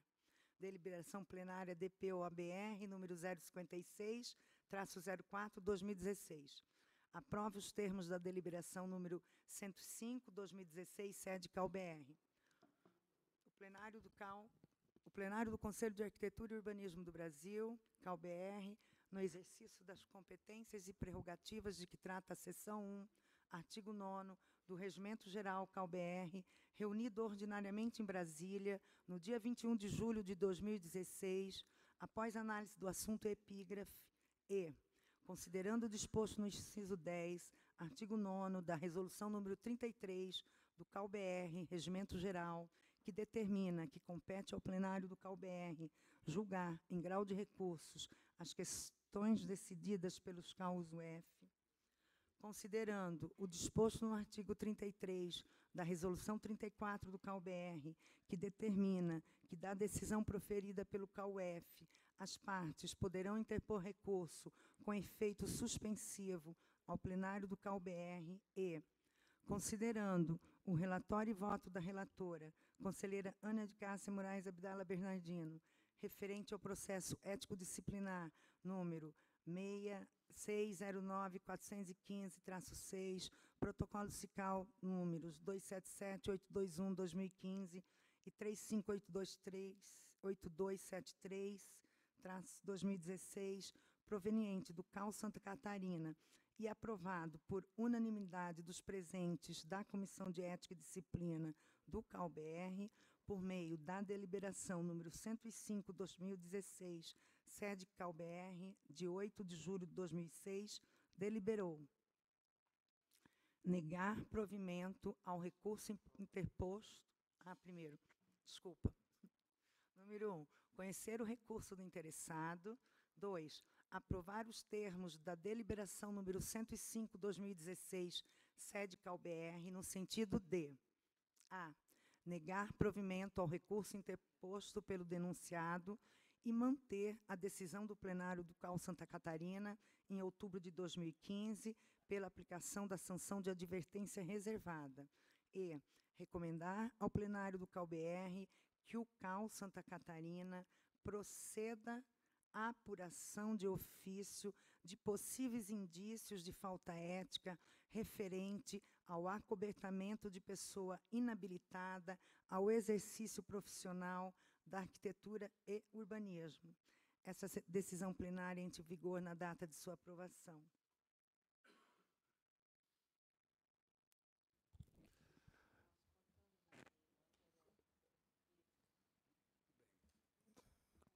Concluiu? Concluiu. Obrigado, colega Ana. Em discussão, palavra com o plenário. Alguma. Colega Gislaine.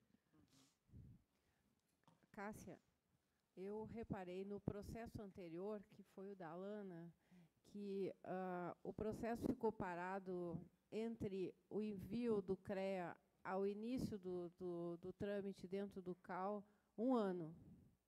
Nesse processo, tem até o item aqui, o item 6, lá no relato, no teu relato, o processo ficou parado de março de 2012 a setembro de 2014. Eu queria entender por que, que acontece isso, um processo ficar parado dentro de um conselho por dois anos, ou por um ano que seja. Ao mas, Catarina. Que não, mas veja bem, eh, não, isso, assim, ó, a gente está aqui procurando um motivo, deve ter algum, claro, mas me parece que isso deveria ser motivo de observação da gente aqui. Nós temos que, além, nos, além de nos ater a questões de mérito, que é o que nós estamos julgando aqui, nós precisamos observar os prazos que estão tramitando esses processos. Porque, mesmo que a gente possa, de alguma maneira, explicar um processo que é parado por dois anos, isso para nós pode ser até compreensível, mas para fora do Conselho não é compreensível. Então, acho que seria bom a gente se preocupar um pouquinho com essas questões dos trâmites e dos tempos envolvidos nos processos. Gislaine, é, eu me assustei também. É, mas é, vários processos que chegaram na comissão de ética, não só esse de Santa Catarina, mas alguns outros que já passaram por, por esse plenário, é, a gente nota que no começo é, do conselho, né, do próprio conselho, e daí eu, você me desculpa, mas eu não sei é, se em março de 2012, é, talvez, talvez o CREA Santa Catarina é, se sentiu de certa forma, inseguro por ainda não ter todas as resoluções e nem não lembro se o código de, de ética profissional já estava aprovado. Então a gente tem notado isso, entendeu? Mas é, conversando com o assessor do jurídico e como isso não representou, é, é, digamos que problemas, né, para o processo, prejuízos, a gente não salientou. Agora, a título de informação, esses processos que estão entrando no CAL, denúncia direto no CAL, é, no CAL de, de UF, eles já não estão levando esse tempo do, do início do conselho, entendeu? É, a gente já nota que não fica parado tipo um ano, nada. Ele já começa é, exatamente a correr os prazos, né? deslanchar, mas, infelizmente, os do, do, da primeira gestão, do começo do conselho, quase todos é, demoraram para começar a tramitar, sim.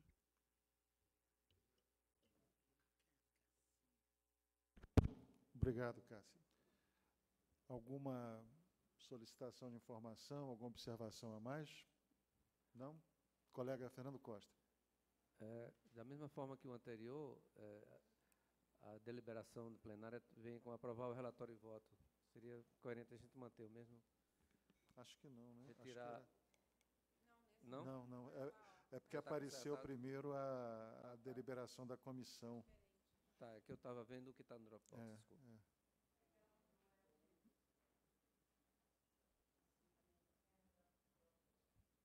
Ah, no Dropbox estava nos termos antigos ainda, né?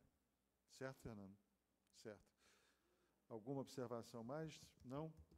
Os colegas, então, estão informados em condição de votar a sanção?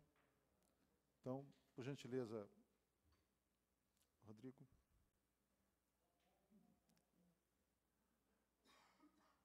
Então, na tela, os que acompanham digitam 1, um, os que não acompanham 2, os que se abstêm 3, então, em regime de votação.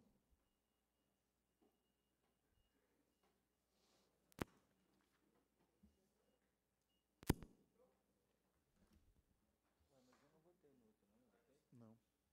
Você não estava aqui.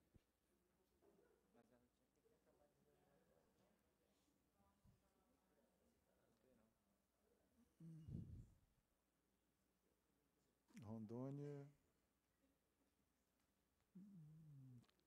Concluída a votação. Então, aprovado pela unanimidade dos presentes, com 24, é isso, né? 26 votos pela aprovação. Alguma consideração, colega Cássia? Não, só quero agradecer a todos e espero que.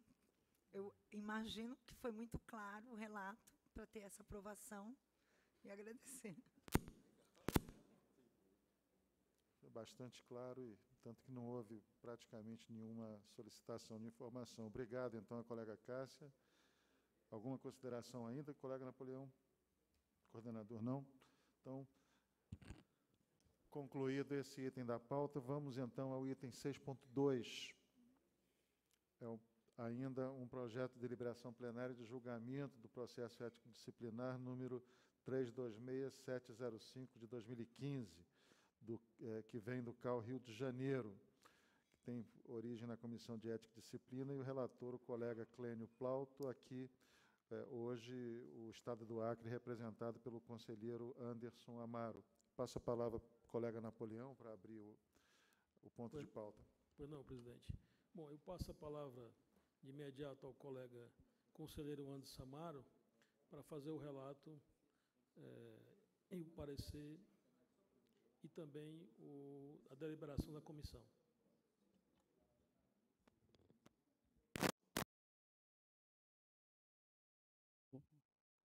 Seu nome? Protocolo CICAL número 326705 de 2015 e 279212 de 2015. Processo ético disciplinar em grau de recurso. Relator Clênio Plauto. Relatório, parecer e voto. Relatório. O presente processo trata de denúncia impetrada ao, ao CREA Rio de Janeiro em 14 de novembro de 2008, instaurada por aqui denominado denunciante em desfavor do arquiteto urbanista denominado denunciado. A denúncia foi motivada devido à insatisfação do contratante em relação aos serviços desenvolvidos pelo profissional, folha 2. O denunciante informa que contratou o denunciado para que desenvolvesse projeto arquitetônico comercial, Após o pagamento do, valor integral acordado e entrega definitiva, a Prefeitura do Rio de Janeiro solicitou que fossem feitas algumas adequações para sua aprovação. Assim sendo, o arquiteto solicitou uma adicional para que procedesse a alteração e, após o pagamento da primeira parcela e segunda submissão à Prefeitura, o projeto foi novamente rejeitado. O denunciante informa que o arquiteto nega-se a, apresentar, a se apresentar na Prefeitura para ajustar o projeto, o que está inviabilizando sua aprovação, folha 2. Anexa o recibo de pagamento, folha 3, e um formulário de legalização da Prefeitura do Rio de Janeiro, folhas 5 a 7. Em 27 de janeiro de 2009, o CREA Rio de Janeiro informa que o profissional não recolheu a RT referente ao serviço e solicita a fiscalização que compareça à Prefeitura para obtenção de cópia do processo número 02-360182-2008, referente ao imóvel do denunciado, para apuração de possível falta ética, folha, folha 11. Em 2005, de agosto de 2009, o CREA Rio de Janeiro sugere que a denúncia seja encaminhada à Câmara Especializada de Arquitetura, para posterior envio à Comissão de Ética Profissional para sua instrução e apuração de conduta profissional denunciado. Sugere ainda que o profissional seja notificado por falta de RT infringindo o artigo 1 da Lei 6.496 de 77. No dia 20 de agosto do mesmo ano, o processo foi é encaminhado à Câmara Especializada de Arquitetura do CREA Rio de Janeiro, folhas 27 e 28. No dia 29 de dezembro de 2009, foi encaminhado ofício ao denunciado para comunicação quanto ao andamento do processo, folha 32, reiterada em 13 de outubro de 2010, folha 34, e 6 de dezembro do mesmo ano, folha 35. Em 19 de março de 2012, o processo é encaminhado ao CAU Rio de Janeiro, com destino à Comissão de Ética para continuidade em seu andamento, folha 40. No dia 3 de outubro de 2013, o conselheiro relator da sede CAU Rio de Janeiro emite relatório e voto opinando por enviar novo ofício ao denunciado, para que apresente defesa em 30 dias, tendo em vista que não houve nenhuma manifestação anterior, folha 42. O prazo transcorreu sem manifestação do interessado, não houve a pensação do aviso do recebimento de correspondência. Em 15 de abril de 2015, é anexada ao processo análise jurídica opinando pelo arquivamento da denúncia, diante do entendimento de ocorrência de prescrição em 14 de novembro de 2013, conforme artigo 72 da Resolução CONFEA número 1004, folhas 46 e 47.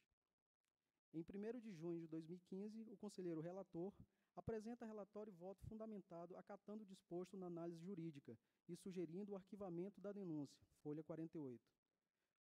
Posicionamento acolhido por unanimidade na sede CAU Rio de Janeiro, folha 49. No dia 9 de junho de 2015, o plenário do CAU Rio de Janeiro deliberou por aprovar a decisão da Comissão de Ética e Disciplina do CAU Rio de Janeiro, pelo arquivamento da denúncia, folha 50 em 1 de julho, foi encaminhado ofício às partes para informar acerca do posicionamento do CAU Rio de Janeiro e do prazo de 60 dias para apresentação de recurso, nos termos da Resolução CONFEA número 1004, folhas 57 e 58. Em 30 de julho de 2015, o aviso de recebimento da correspondência do denunciante foi apensado ao processo, iniciando a contagem do prazo para envio de recurso, folhas 62 e 63.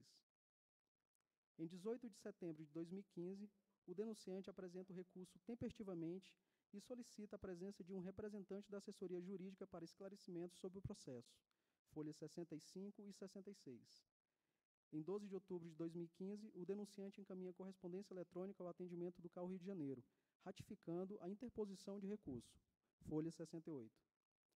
Em 16 de novembro de 2015, o arquiteto denunciado é intimado para apresentação de contrarrazões ao recurso apresentado pelo denunciante, folhas 70 a 73, tendo se manifestado no dia 20 de novembro de 2015 por e-mail, folhas 74 e 75.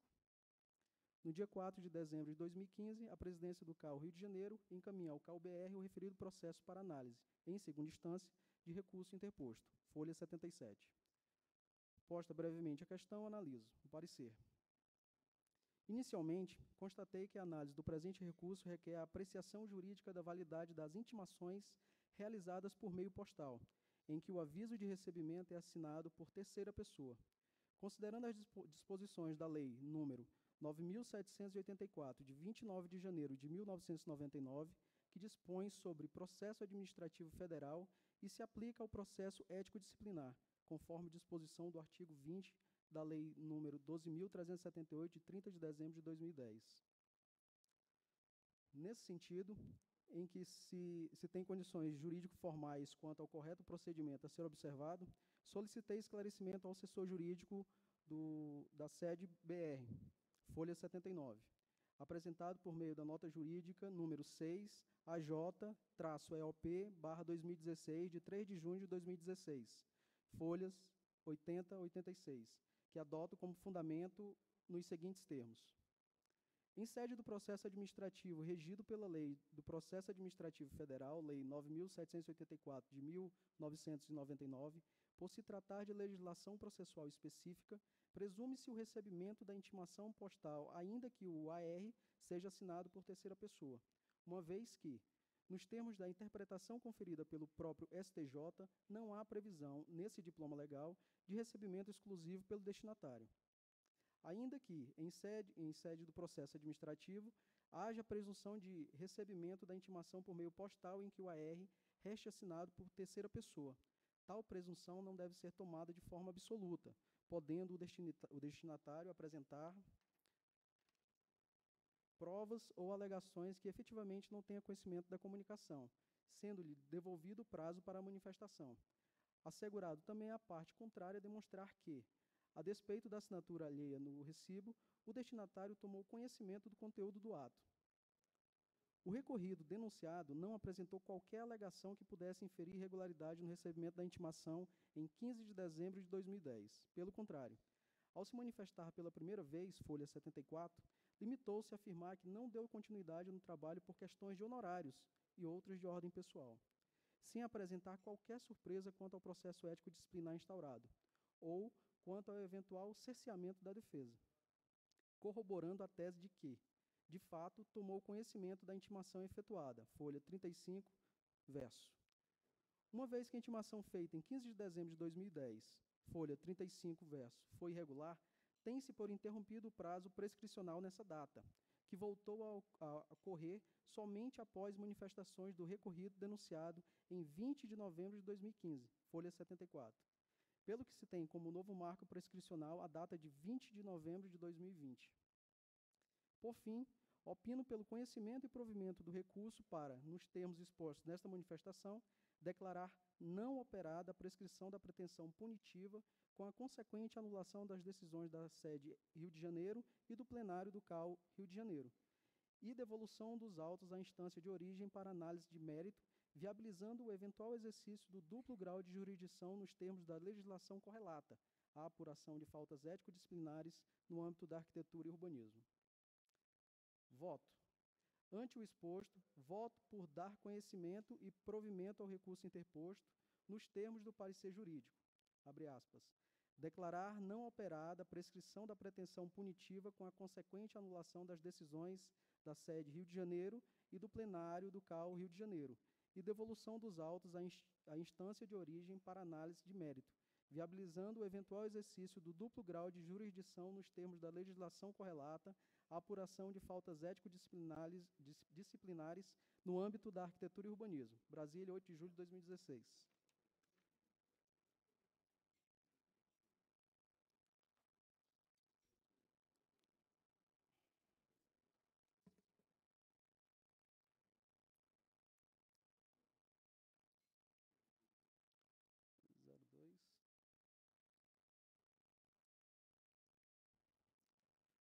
Processo número 2008-5-12706, protocolo SICAL 326705-2015 e 27, eh, 279212-2015.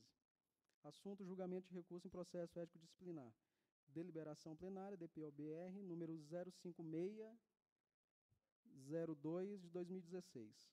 Aprova os termos da deliberação número 104 de 2016, sede CalBR. O plenário do Conselho de Arquitetura e Urbanismo do Brasil, CalBR, no exercício das, das competências e prerrogativas de que trata a seção 1, artigo 9 do Regimento Geral, CalBR, reunido ordinariamente em Brasília no dia 21 de julho de 2016, após análise do assunto em epígrafe e, considerando o disposto no inciso 10, artigo 9 da Resolução 33 do CalBR, Regimento Geral, que determina que compete ao plenário do CalBR julgar em grau de recurso as questões decididas pelos CAUF, considerando o disposto no artigo 33 da Resolução número 34 do CAUBR, que determina que, da decisão proferida pelo CAUF, as partes poderão interpor recurso com efeito suspensivo ao plenário do CAUBR e, considerando o relatório e voto do relator conselheiro Clênio Plauto, referente ao processo ético-disciplinar número 2008, traço 5, traço 12706, protocolo SICAL número 326705, de 2015 e 279121 de 2015, proveniente do CAU-RJ e aprovado por unanimidade dos membros presentes da Comissão de Ética e Disciplina do CAU-BR por meio da deliberação número 104 de 2016, sede CAU-BR, de 8 de julho de 2016. Deliberou conhecer o recurso do interessado e aprovar os termos da deliberação número 104 de 2016, sede CAU-BR, no sentido de dar provimento ao recurso interposto nos termos do parecer jurídico, abre aspas, declarar não operada a prescrição da pretensão punitiva com a consequente anulação das decisões da sede Rio de Janeiro e do plenário do CAU Rio de Janeiro e devolução dos autos à instância de origem para análise de mérito, viabilizando o eventual exercício do duplo grau de jurisdição nos termos da legislação correlata à apuração de faltas ético-disciplinares no âmbito da arquitetura e urbanismo. Essa deliberação plenária entra em vigor na data de sua aprovação. Obrigado, Anderson. Em discussão, colega Luiz Fernando Janot. A sua questão de esclarecimento, por favor, se puder me esclarecer o que significa eventual exercício do duplo grau de jurisdição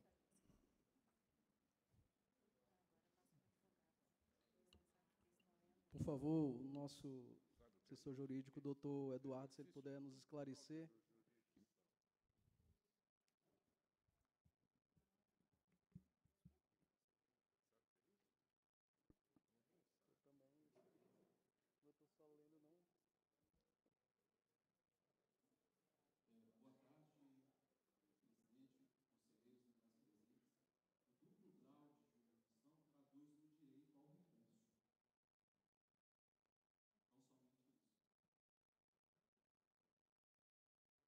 Esclarecer a frase, então, por favor, doutor Eduardo.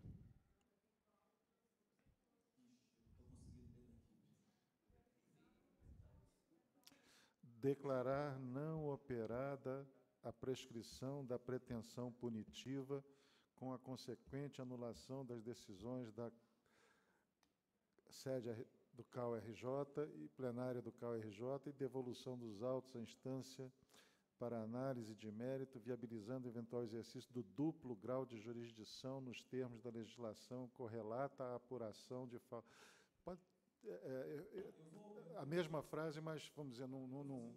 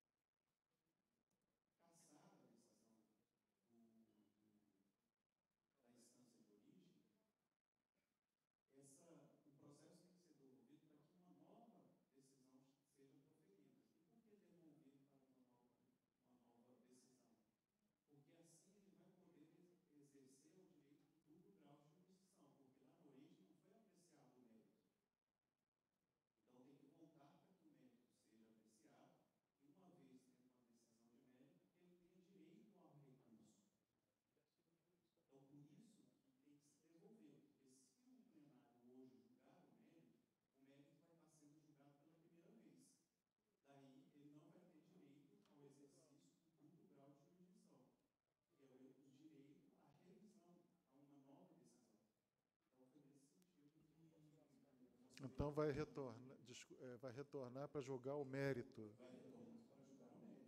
É isso. Então é isso. Eu acho que, bom, agora acho que está esclarecido, né? É, é, é. Tá? Está esclarecido, Janô?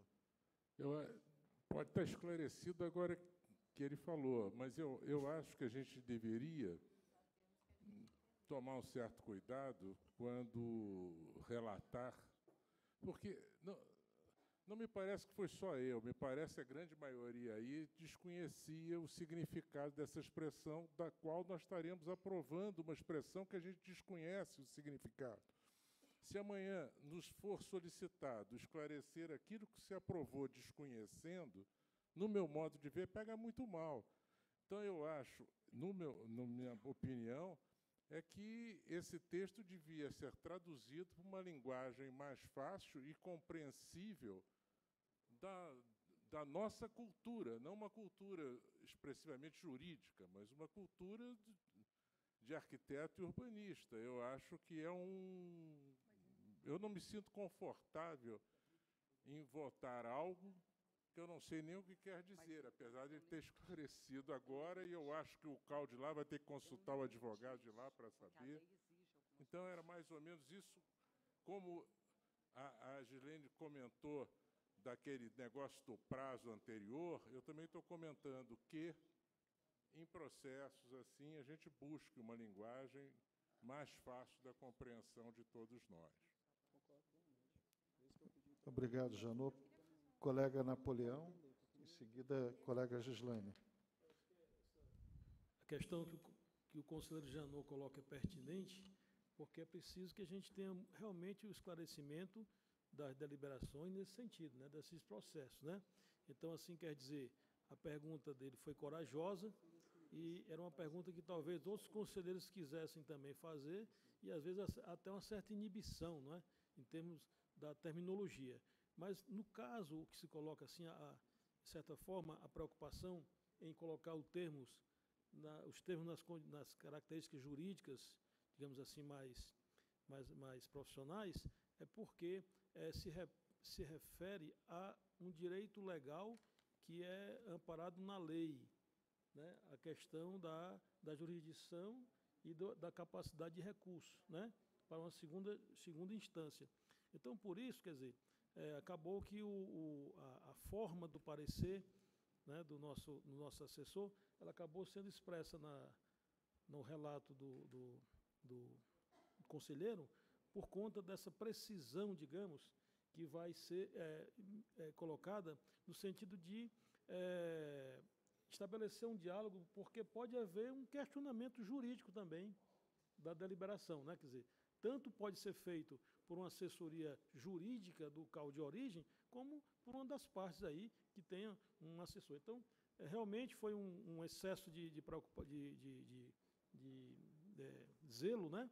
mas que, de fato, é preciso que a gente é, coloque na, na, forma que, para nós, assim, arquitetos, que... Né? A comissão de ética, de certa forma, ela está, assim, cada vez mais se é, é emergindo nessa nessa discussão do, do jurídico, né? até pela convivência né? e da necessidade que a gente tem. Fizemos agora esse seminário, que um segundo dia foi completamente para os assessores jurídicos, né? e, e foi uma coisa muito interessante. Então, mas, na verdade, eu acho que é, é, é importante sempre que tudo fique muito claro e que, se o plenário tiver dúvida, né? como essa que é, pertinentemente o, o colega Janot estabeleceu, que se faça para que a gente tenha certeza mesmo é, dessas nossas deliberações desse sentido. Né? De fato, é o seguinte, um dos temas, só para colocar assim, um, um comentário extra, um dos temas desse seminário que eu falei aqui foi exatamente a questão da prescrição. Isso hoje é um problema, é um problema de muitos processos. Às vezes houve um esforço, me lembro que houve um esforço muito grande, o conselheiro Renato Nunes, em torno de um processo em que ele se debruçou até pela, pela noite adentro, né? e, e, afinal de contas, se constatou que tinha sido prescrito. Então, a gente, é, é, essa coisa da prescrição, existe assim a norma, a norma, a norma legal, ela, ela, ela é muito complexa, né? Quando prescreve, quando não prescreve, e às vezes, há, e às vezes há uma confusão. Então, é por isso que está se remetendo ao, ao, ao colegiado do, a proposta é essa de voltar ao colegiado do CAL estadual, mas no sentido não de estabelecer uma crítica a, a procedimento, e sim a uma questão de interpretação jurídica de prazo de prescrição. Né? Obrigado. Claro. Colega Gislaine. Eu gostaria, eu gostaria de reforçar o que comentou o Janot, e que me parece que é bem importante aqui. também lendo aquilo ali, eu não saberia nunca o que, que a gente estava aprovando. E me parece que a, a, nossa assessoria jurídica aqui, ela tem que estar ali para nos ajudar e fazer esse trabalho, inclusive dos termos corretos da, da, do relato, óbvio. Porém, eu não consigo entender que um conselheiro que fez o relato, seja ele qual for, não consiga nos explicar o que, que significa aquilo que é o termo do seu próprio relato. Ou seja, nós, nós, conselheiros, a gente precisa se apropriar desses termos, se esses forem fundamentais para dar substância ao relato, mas quem tem que dar explicação sobre nós? Por que, que eu estou dizendo isso? Se por acaso o doutor Eduardo não estivesse aqui hoje, ou nós não estivéssemos com outro suporte jurídico aqui hoje, como é que nós íamos aprovar esse relato por causa de uma frase que nós não entendemos? Então, me parece que é fundamental ter os termos jurídicos, sim, mas que a gente consiga se apropriar deles, no sentido, inclusive, de traduzir o que, que eles querem dizer para a nossa linguagem, porque senão a gente não consegue entender o que está escrito ali. É nesse sentido apenas, tá? Colega Anderson. Bom, é, só esclarecendo, é, não foi eu, né, não fui eu que, que relatei o processo. Na verdade, por isso que eu fiz a solicitação que o meu fosse, fosse, fosse feita a mudança de pauta para me sentar com a nossa assessora, né, Cristiana, e o nosso assessor jurídico. Tá? Obrigado, Anderson. Certo, Napoleão? Colega Luiz Afonso. Não, presidente, é uma preocupação que a Comissão de Ética está tendo, inclusive uma preocupação da conselheira Girlaine, né? É sobre ontem, por exemplo, no anteontem e ontem no treinamento técnico, Girlaine, nós enfatizamos muito o problema da prescrição, porque está havendo muito processo, principalmente dos CREA, entendeu? Já chego quase, presidente, para bater no cal e prescrever. E se você se prescreve dentro do CAL, a responsabilidade é do CAL, né? que já está com o processo. Então, a gente alertou muito as assessorias técnicas, conselheiros e os assessores jurídicos sobre esse problema desses processos que estão vindo do CREA, sobre essa prescrição. Porque se prescrever dentro do CAL, a responsabilidade é do CAL, né? não é mais do CONFER, é só uma informação. Obrigado, Luiz Afonso. Colega Anderson Amaro fazer uma sugestão. É, apesar de ter sido o Clênio que né, fez o relato, eu acho que eu poderia sentar com o doutor Eduardo e a gente formular uma nova redação para a questão do voto. Não, Não mas acho, é que já tá, acho que já está compreendido, Anderson. Acho que está é, então... compreendido.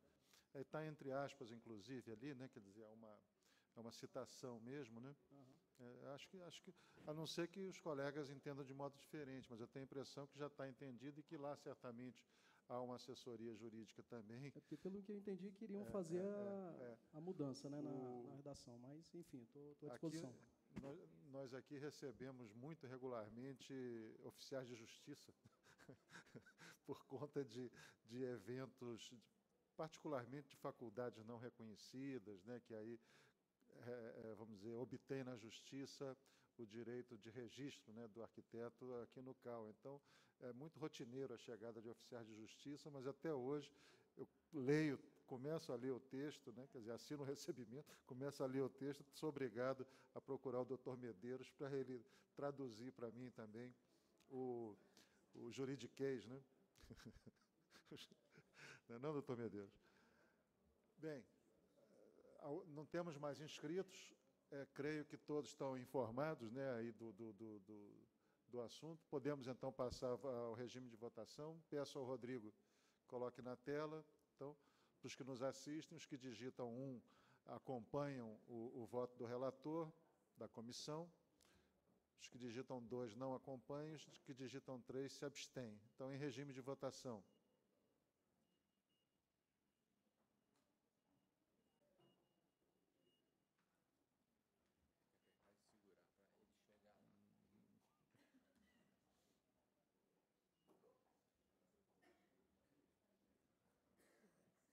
Concluída a votação.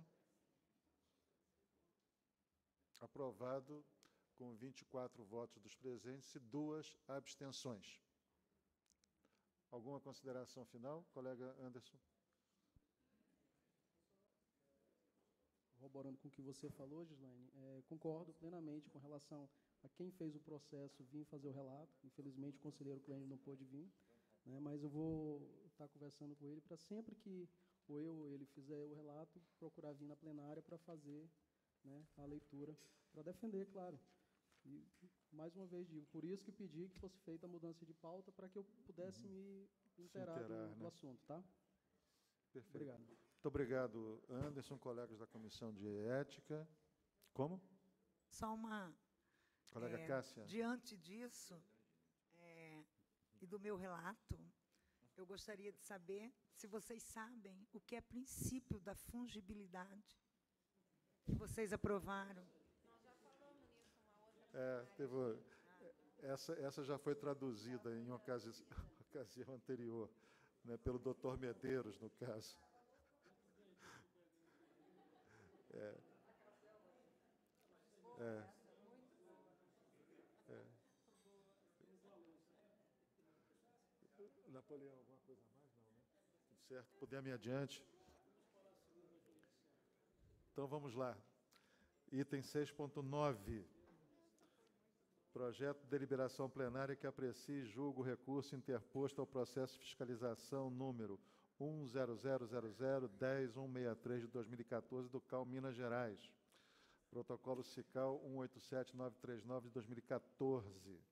Interessada, Maria de Fátima Bom Tempo, que tem por origem Comissão de Exercício Profissional, e o relator, colega Claudemir Andrade.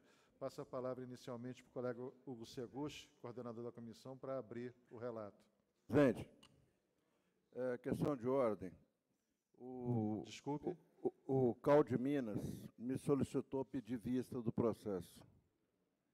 Desse processo em questão. Desse processo? Desse processo.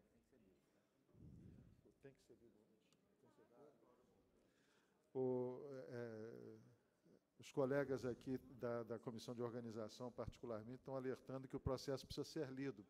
Eu esclareço aqui que os demais, haviam alguns outros processos do CAL Minas Gerais que foram é, é, retirados né, a pedido é, para verificação de, de, da necessidade de saneamento né, do, do, do, dos processos né, no, nos termos solicitados pela gerência jurídica lá do CAL Minas Gerais. Né? Esse, naturalmente, esse não faz parte daquele bloco, né? é um outro. Né? E, e, e, de qualquer maneira, vamos proceder à leitura, viu? viu? Vamos proceder a, a, ao relato e, na sequência, o, o, o, a documentação será encaminhada para o colega conselheiro. Então, por Colegas, gentileza, Hugo. Esse processo, na realidade, está vindo aqui por ajuste de, de texto, né? Hum, a gente já tem mais ou menos um encaminhamento do, do processo. É, gostaria de perguntar ao colega Godoy se, se esse, esse também está dentro do rol da sua... Porque todos os outros já foram retirados de pauta.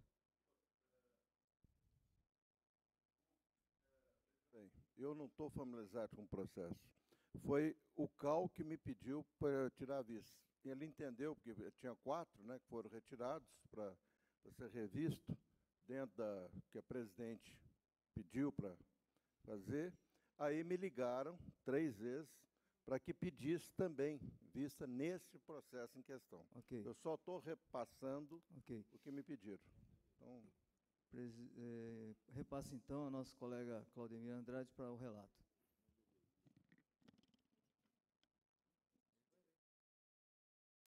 Colega Claudemir, parece que tem um problema também aqui no, no microfone do, do conselheiro Claudemir. Aqui. Ah, pronto. Obrigado, Claudemir. Por favor. Boa tarde, conselheiros. Vamos ao relato. Processo de fiscalização CAL Minas Gerais número 100000010-163, protocolo CICAL 187939 de 2014. Assunto recurso ao plenário do CAL-BR. Interessada Maria de Fátima Bom Tempo, origem CAL Minas Gerais. Item de pauta, protocolo CICAL 187939-2014, acerca do recurso interposto ao processo de fiscalização do CAL Minas Gerais. Relator Claudemir Andrade. Histórico. Vem a exame desta Comissão de Exercício Profissional CEP, recurso interposto pela interessada arquiteta urbanista Maria de Fátima Bom Tempo, nos autos do processo de fiscalização número 100000010-163 e protocolo CICAL 187939 de 2014. Em 8 de agosto de 2014, o agente de fiscalização do CAL Minas Gerais emite o relatório de fiscalização informando que foi verificado um relatório mensal de, pro, de processo de licenciamento e regularização de projeto de edificação emitida pela Prefeitura Municipal de Belo Horizonte, que dentre os processos aprovados no mês de abril de 2014, o processo referente à regularização de levantamento total para edificação, tendo como responsável técnica a arquiteta e urbanista Maria de Fátima Tempo, não teve o RRT emitido.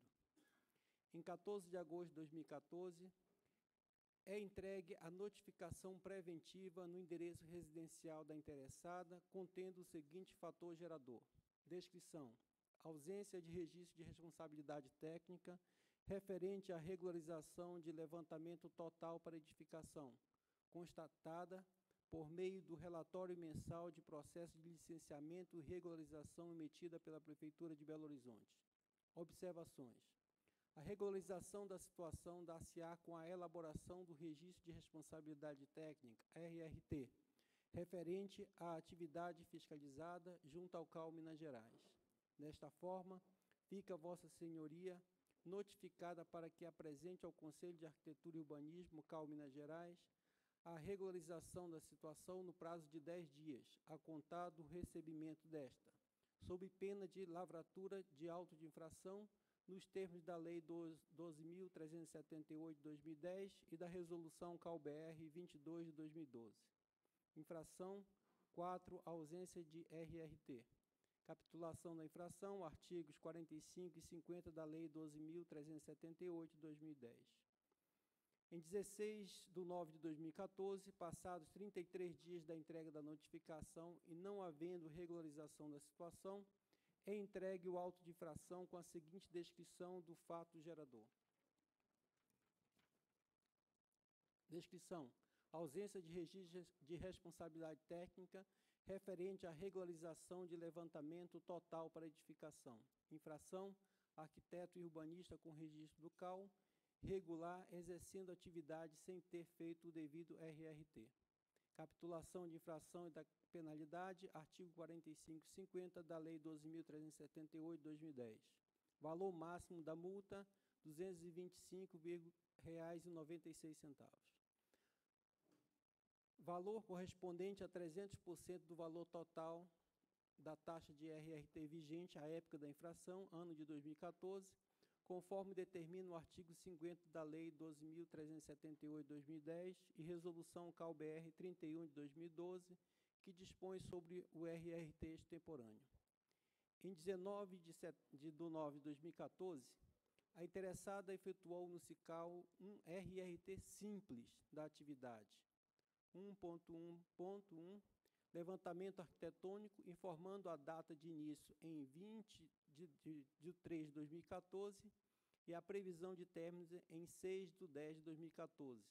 E apresentou com recurso a CEP CAL Minas Gerais com a seguinte alegação: vem justificar o não atendimento à auto-infração, que agora já está registrado o RRT 2730367. Estive fora vários dias envolvida com a transferência do meu filho para trabalhar em outra cidade. Eu não estava presente no escritório no período de autuação.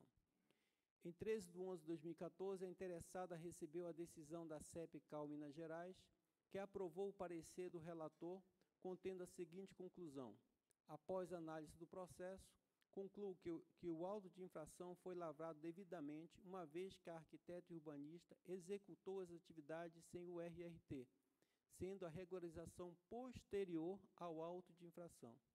Do exposto, encaminho o seguinte parecer. Manter o auto de infração. A interessada foi informada do prazo de 30 dias para recurso ao plenário do CAL Minas Gerais. Em 19 de 11 de 2014, a interessada apresentou a seguinte defesa ao plenário do CAL Minas Gerais. Venho solicitar que o auto de infração seja arquivado, pelos motivos já expostos na minha defesa anterior. Não recebi a notificação em tempo hábil devido à minha viagem e também foi das minhas primeiras RRTs preenchidas. Assim que tomei ciência do auto de infração em 16 de 9, a situação foi prontamente resolvida, RRT paga em 19 do 9. Em 15 de 12 de 2012, o plenário do CAL Minas Gerais aprecia o recurso interposto e manteve a decisão da CEP CAL Minas Gerais. Em 24 de 12 de 2014, foi entregue o ofício do, do CAL Minas Gerais comunicando a interessada da decisão do plenário do CAL Minas Gerais em manter a decisão da CEP CAL MG, e informando sobre o prazo de 30 dias para interpor recurso ao plenário do CalBR. Em 7 de janeiro de 2015, a interessada apresenta recurso ao plenário do CalBR, com a seguinte defesa. Conforme exposto nas defesas anteriores, recebi a notificação fora do prazo por estar viajando, mas assim que tomei ciência do fato, a regularização foi feita rapidamente. Em 14 de janeiro de 2015, a presidência do CAL Minas Gerais tramita o recurso ao plenário do CAL-BR por meio do protocolo CICAL 187-939-2014, a presidência do CAL-BR. Em 10 de 4 de 2015, a CEP CAL-BR designa como relator o processo conselheiro suplente Gonzalo Nunes Melgar, conforme deliberação 9 de 2015, CEP CAL-BR. Em 8 de 5 de 2015, a CEP CAL-BR aprecia e aprova o relatório e voto do relator e encaminhe o recurso para apreciação do plenário do CalBR. Em 21 de 5 de 2015, o recurso é apreciado pelo plenário do CalBR por ocasião da 42ª reunião plenária ordinária do CalBR e o conselheiro federal Renato Nunes entra com um pedido de vista do processo. Em 25 de 6 de 2015, o relatório e voto do pedido de vista do conselheiro Renato Nunes é apreciado pelo plenário do CalBR por ocasião da 43ª reunião plenária ordinária do CalBR, sendo aprovado conforme deliberação plenária DPO-BR número 43-1 2015. Em 23 de 7 de 2015, o plenário do CalBR aprova ato do presidente do CalBR que suspende a deliberação plenária DPO-BR 4301-2015 e encaminha à Comissão de Organização e Administração, COA-CalBR, para definição da comissão de análise do mérito do processo motivados pela infração da ausência de RRT. Em 27 de 2 de 2016, é realizada a primeira reunião conjunta extraordinária entre as comissões ordinárias do CalBR, COA, SED e CEP, na cidade do Rio de Janeiro. Em 1 de 4 de 2016, o plenário do CalBR aprecia a deliberação número 006 de 2016 da COA CalBR e aprova a deliberação plenária DPOBR 05207 de 2016, na qual considera a Comissão de Exercício Profissional CEP como a responsável pela análise do mérito para apreciação de processo de fiscalização referente à ausência de RRT.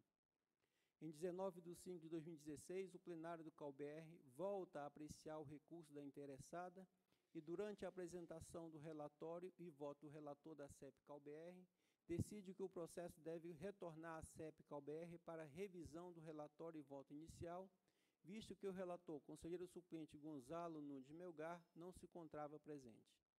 Em 2 de 6 de 2016, a CEP CalBR designa como novo relator o processo conselheiro titular Claudemir José Andrade para revisar o, re, o relatório e voto fundamentado, conforme deliberação número 43 de 2016, CEP CalBR. Análise.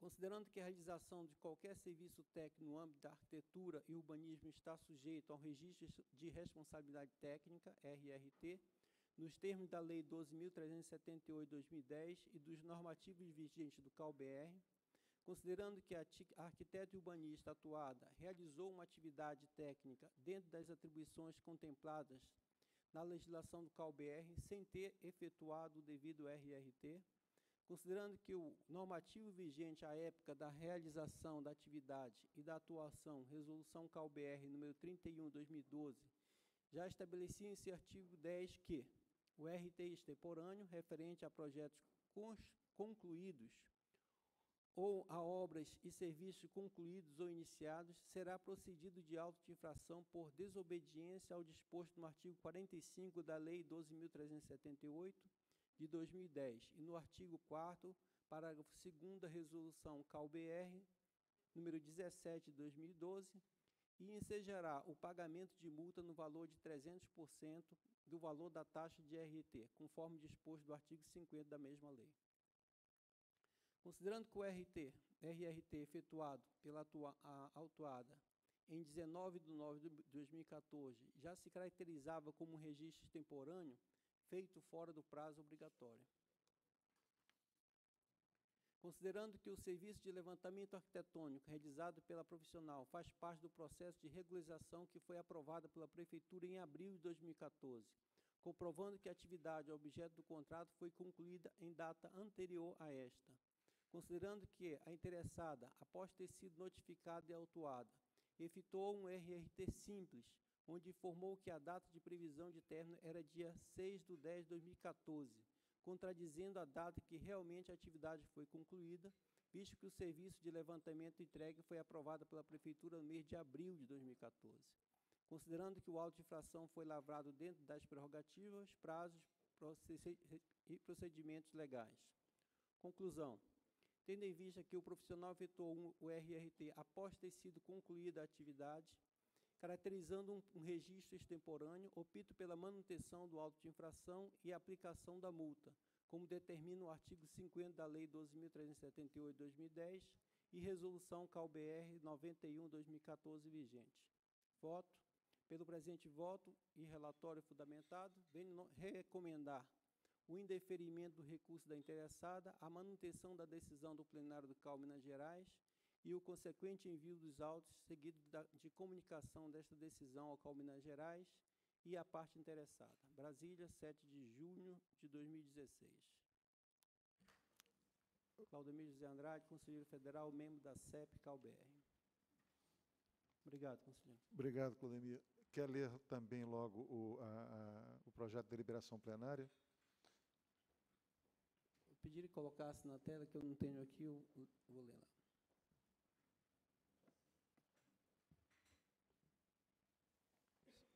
Só aumenta, por favor. Processo de fiscalização número 100000, é, 10163, CAL Minas Gerais. Protocolo CICAL 187939-2014. Interessado Maria de Fátima Bom Tempo. Assunto aprecia, apreciação do recurso interposto pelo interessado ao plenário do CalBR em face da decisão do plenário do CAL Minas Gerais. Deliberação plenária DPOBR número 0056 traço 09 2016. Aprecio o recurso interposto pela interessada em face da decisão do plenário do CAL Minas Gerais. O plenário do Conselho de Arquitetura e Urbanismo do Brasil, CAL-BR, no exercício das competências e prerrogativas que tratam a seção 1, artigo 9 do Regimento Geral do CAL-BR, reunido ordinariamente em Brasília nos dias 21 e 22 de julho de 2016, após análise do assunto em epígrafe, Considerando o relatório e voto fundamentado, revisado e apresentado pelo relator, conselheiro federal Claudomir José Andrade, acompanhado pela Comissão de Exercício Profissional do Conselho de Arquitetura e Urbanismo do Brasil, CEP-CalBR, por meio da deliberação número 52 de 2016, CEP-CalBR. Considerando a resolução CalBR número 22 de 2012, que dispõe sobre a fiscalização do exercício profissional da arquitetura e urbanismo, e estabelece em seu artigo 35, inciso 4, quem comete, que comete infração, o arquiteto e urbanista com registro no CAL regular, exercendo atividade fiscalizada sem, sem ter feito o devido RRT, valor da multa 300% do valor vigente da taxa do RRT. Considerando que a resolução CalBR número 31 de 2012, vigente à época da realização da atividade e da autuação, estabelecia que o RRT referente a projetos concluídos ou a obras em serviços concluídos ou iniciados, ou seja, efetuado fora do prazo obrigatório, será considerado RRT extemporâneo, procedido de auto de infração e ensejará o pagamento de multa no valor de 300% do valor vigente da taxa de RRT. Considerando que a resolução CalBR número 91 2014, vigente, dispõe sobre os procedimentos de RRT e estabelece em seu artigo 18 que o RT extemporâneo ficará condicionado ao pagamento de Primeiro, taxa de RRT, nos termos do artigo 48 da Lei 12.378, de 2010. 2. Taxa de expediente no valor de uma vez a taxa de RRT. 3. Multa de 300% do valor da taxa de RRT, por infração ao disposto no artigo 45 da Lei 12.378, de 2010, conforme disposto no artigo 50 dessa lei. E Considerando que o auto de infração foi lavrado dentro das prerrogativas, prazos e procedimentos legais, garantido ao interessado o contraditório e a ampla defesa, e que a ação realizada pela fiscalização, assim como os demais procedimentos que decorreram até a chegada do processo a esta instância decisória, não diminui ou compromete a, in, a integridade da, da aumentada fiscalização com natureza educativa. Deliberou. Primeiro, conhecer o recurso da interessada. Segundo, acompanhar os termos da deliberação número 52 de 2016, CEP-CalBR, no sentido de a. indeferir o recurso da interessada e manter a decisão do plenário do CAL Minas Gerais. Que isso? B. É, remeter a decisão ao Conselho de Arquitetura e Urbanismo de Minas Gerais, CAL Minas Gerais, para as devidas providências. Essa deliberação entra em vigor na data de sua aprovação. É, obrigado, Claudemir. Eu creio que essa, isso que está entre parênteses ali pode ser removido, né? É, isso aí que está. Rodrigo. Isso. É. Perfeito.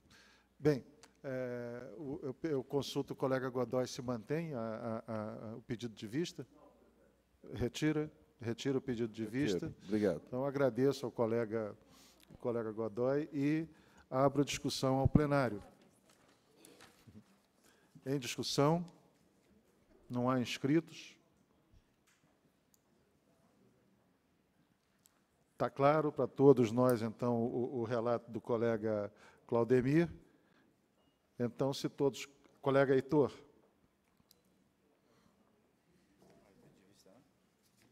Não, retirou, retirou.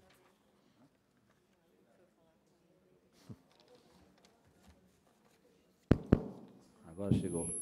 Bom, acho que o, o relato está bastante claro, detalhado, esse objetivo, né? Mas, assim, é, eu não, eu não, eu não, assim, vou perder a oportunidade de sempre fazer um comentário contrário a essa tal da RT extemporânea. Está na lei, claro, está na lei. Assim como a falta de RT também está na lei, que era, era enquadrado como processo ético e se contornou através daquela direção plenária feita lá em fevereiro. Eu escrevi que essa, essa, essa extemporânea é um, é um tipo de penalidade extremamente desgastante para os profissionais. Sabe? Eu, é legal, mas eu, particularmente, não acho justo, como a grande maioria dos arquitetos também não acham justo. Né?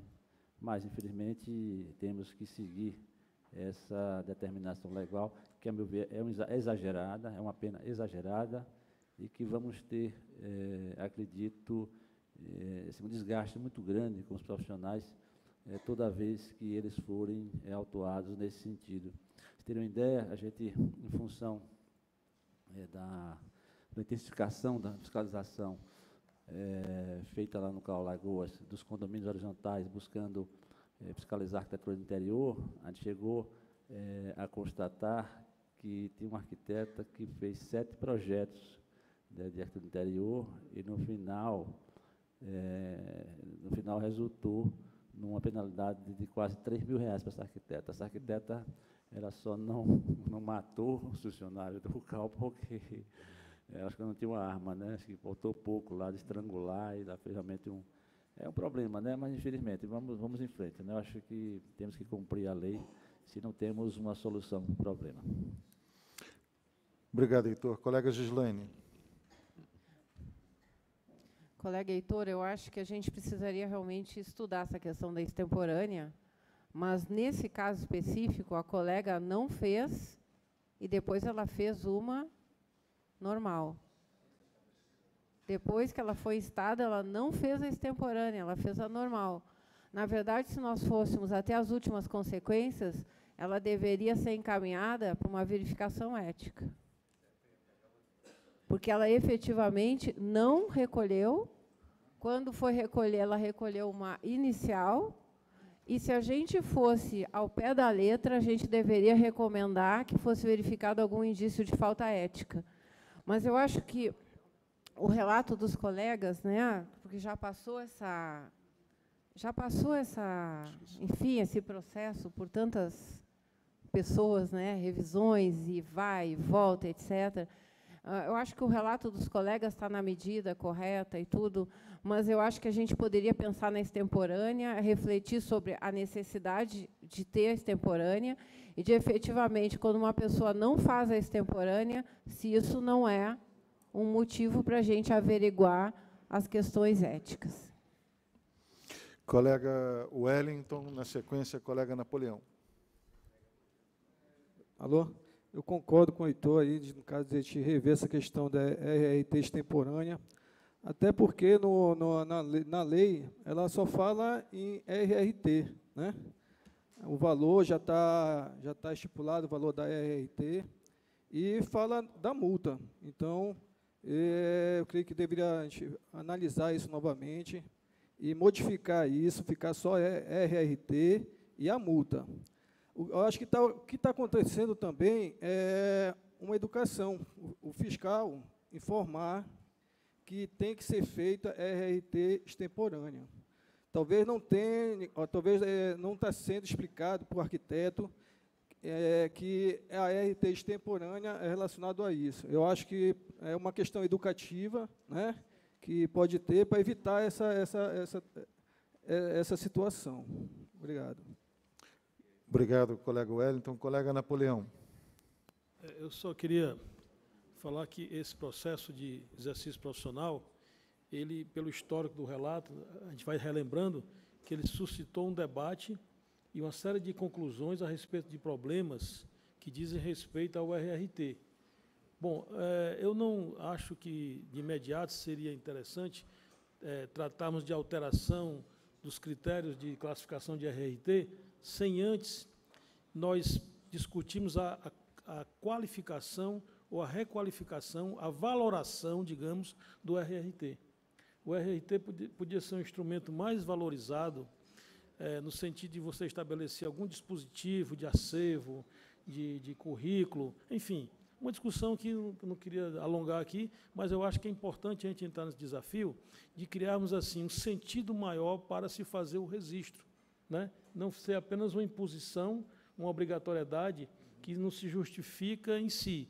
É, é para se entender por que tem que ter RRT, tem que haver um envolvimento muito grande com o Conselho. Agora, se o RRT a partir dele você consegue estabelecer, digamos assim, uma, uma história profissional, ele se torna uma coisa mais valorizada.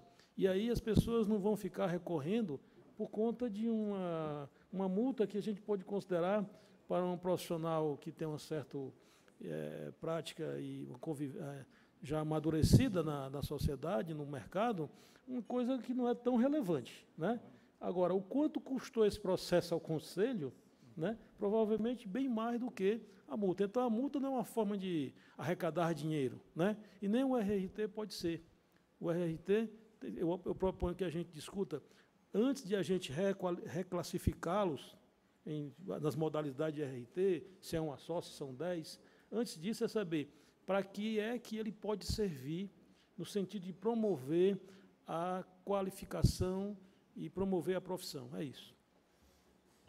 Obrigado, Napoleão. Acho que até merece uma, um comentário, Napoleão. O, é, essa sugestão que você está dando está efetivamente em estudo né, no, no, naquele, no projeto Etos, não sei se você se recorda, né, no, no capítulo do Ache um Arquiteto, né, de ter lá o escaninho né, de cada arquiteto, e ao fazer o RRT já remete diretamente para o currículo do, do. Enfim, é um, é um projeto amplo né, que está temporariamente suspenso, ele vem sendo acompanhado pela Comissão de Ensino e Formação, está temporariamente suspenso, mas eu espero que nós possamos concluí-lo ainda esse ano, que eu acho que vai ser uma grande algo, um objeto de grande interesse né, para os arquitetos brasileiros. Né. Colega Heitor, na sequência o colega Luiz Delbrando. Bom, é só para complementar. Na verdade, é, como eu falei, o processo, nesse caso, é cabível. Agora, existem inúmeros casos que em RT extemporânea é muito complicado você capitular e aplicar, porque a nossa dinâmica ela é muito variada, nossos serviços são muito variados, e muitas vezes você fica até impossibilitado de fazer RT no começo do serviço, em função de definições que precisam ser feitas, né? Até casos de pré-aprovações. Ah, não, mas pode modificar depois. Mas essas modificações são sempre complicadas, retrabalho é complicado, e gera uma série de, de mas assim, o que, o que, é importante também de observar, no fundo, no fundo, isso é uma penalidade, né? É uma penalidade para é, o profissional que não faz e é, é quase que um assim um é, tem que fazer, né? Um, é um reforço para que se faça RT. Mas tem que avaliar o custo desses recursos. Se todos os arquitetos brasileiros recursarem com essa RT extemporânea, isso vai gerar um custo muito grande para o Conselho. E aí a pergunta, vale a pena? Né? Vale a pena porque para o CAU estadual é um custo grande. Pelo que eu pude observar, o pessoal do, do, do, da parte administrativa do CAU Lagoas tem grande trabalho no processamento da RT extemporânea, que é muito diferente da RT simples. E para esse plenário, quanto é que custou a assessoria jurídica orientar esse processo, as horas técnicas do advogado, quanto é que custou as horas técnicas do conselheiro, quanto é que custou a hora técnica desse plenário em ler esse processo né, e relatar. Ver o custo tudo desse e vai ver que é, é um problema, é um problema. Tá? E eu levantei a tese é, em função do, desse caso específico. Né? Bom, mas aí, é, enfim, a questão é essa né, que eu levanto. Só temos que fazer um esclarecimento aqui aos colegas, para que a discussão, não, não, vamos dizer, não prossiga muito, é, é, vamos dizer, é, é, diante de um, de um pequeno um, pequeno erro. Veja só, é, é, essa multa de 300% não é por conta do RRT extemporâneo. Né? Esse RRT extemporâneo recebeu esse nome de batismo aí para corrigir a falta anterior, né? quer dizer, o, o artigo 50 né, da Lei 2.378, de 2010. A falta do RRT, do Registro de Responsabilidade Técnica, que antes é colocado como obrigatório, né, em artigo anterior, sujeitará o profissional ou a empresa responsável sem prejuízo da responsabilização pessoal pela violação ética e da obrigatoriedade de paralisação do trabalho ainda tem isso, né? deve paralisar o trabalho enquanto não regularizar. Até a regularização da situação, a multa de 300% sobre o valor da taxa de RRT não paga, corrigida a partir da autuação. Hoje está em torno de 250 reais, né? essa multa. Né? É, é, parágrafo único, inclusive, tem uma ressalva. Né? Não se aplica o disposto no caput no caso, do trabalho, no caso de trabalho realizado em resposta à situação de emergência, se o profissional ou a empresa jurídica diligenciar, assim que possível, na regularização da situação. Ou seja, um trabalho que tenha, eh, especialmente de obra, essas coisas que, que decorrente de uma situação de, de emergência, que é feito e depois se faz o registro. Né? Mas no trabalho regular, né, há a obrigação de, de, do registro. Tem uma, uma fragilidade que o colega Hugo já chamou a atenção, é, é sobre o prazo né, de decorrência né, para fazer o registro original, né, até, é, que precisa ser também bem esclarecido, né, que está já em estudo pela Comissão de Exercício Profissional e acho que pode reunir tudo isso, fazer uma discussão, uma discussão com bastante calma, né, para ver se tem algum, algum vamos dizer, alguma possibilidade de graduar ou de ajustar. Né? Agora, a, a, ausência do registro é considerado uma, um, uma, um, risco para a sociedade, né? porque poderá o trabalho estar sendo feito por um não arquiteto, por um leigo, enfim, colocando em risco a sociedade e, enfim, é muito mais né, uma defesa da, da, cidadania do que propriamente até a vantagem né, do registro dos arquitetos, do registro do seu, seu próprio trabalho. Né? Então, só um esclarecimento, não decorre de resolução, né? decorre da própria lei. Né? Mas vale a pena a discussão para ver se é possível a gradação. Colega Luiz Delbrando, na sequência o colega Godoy.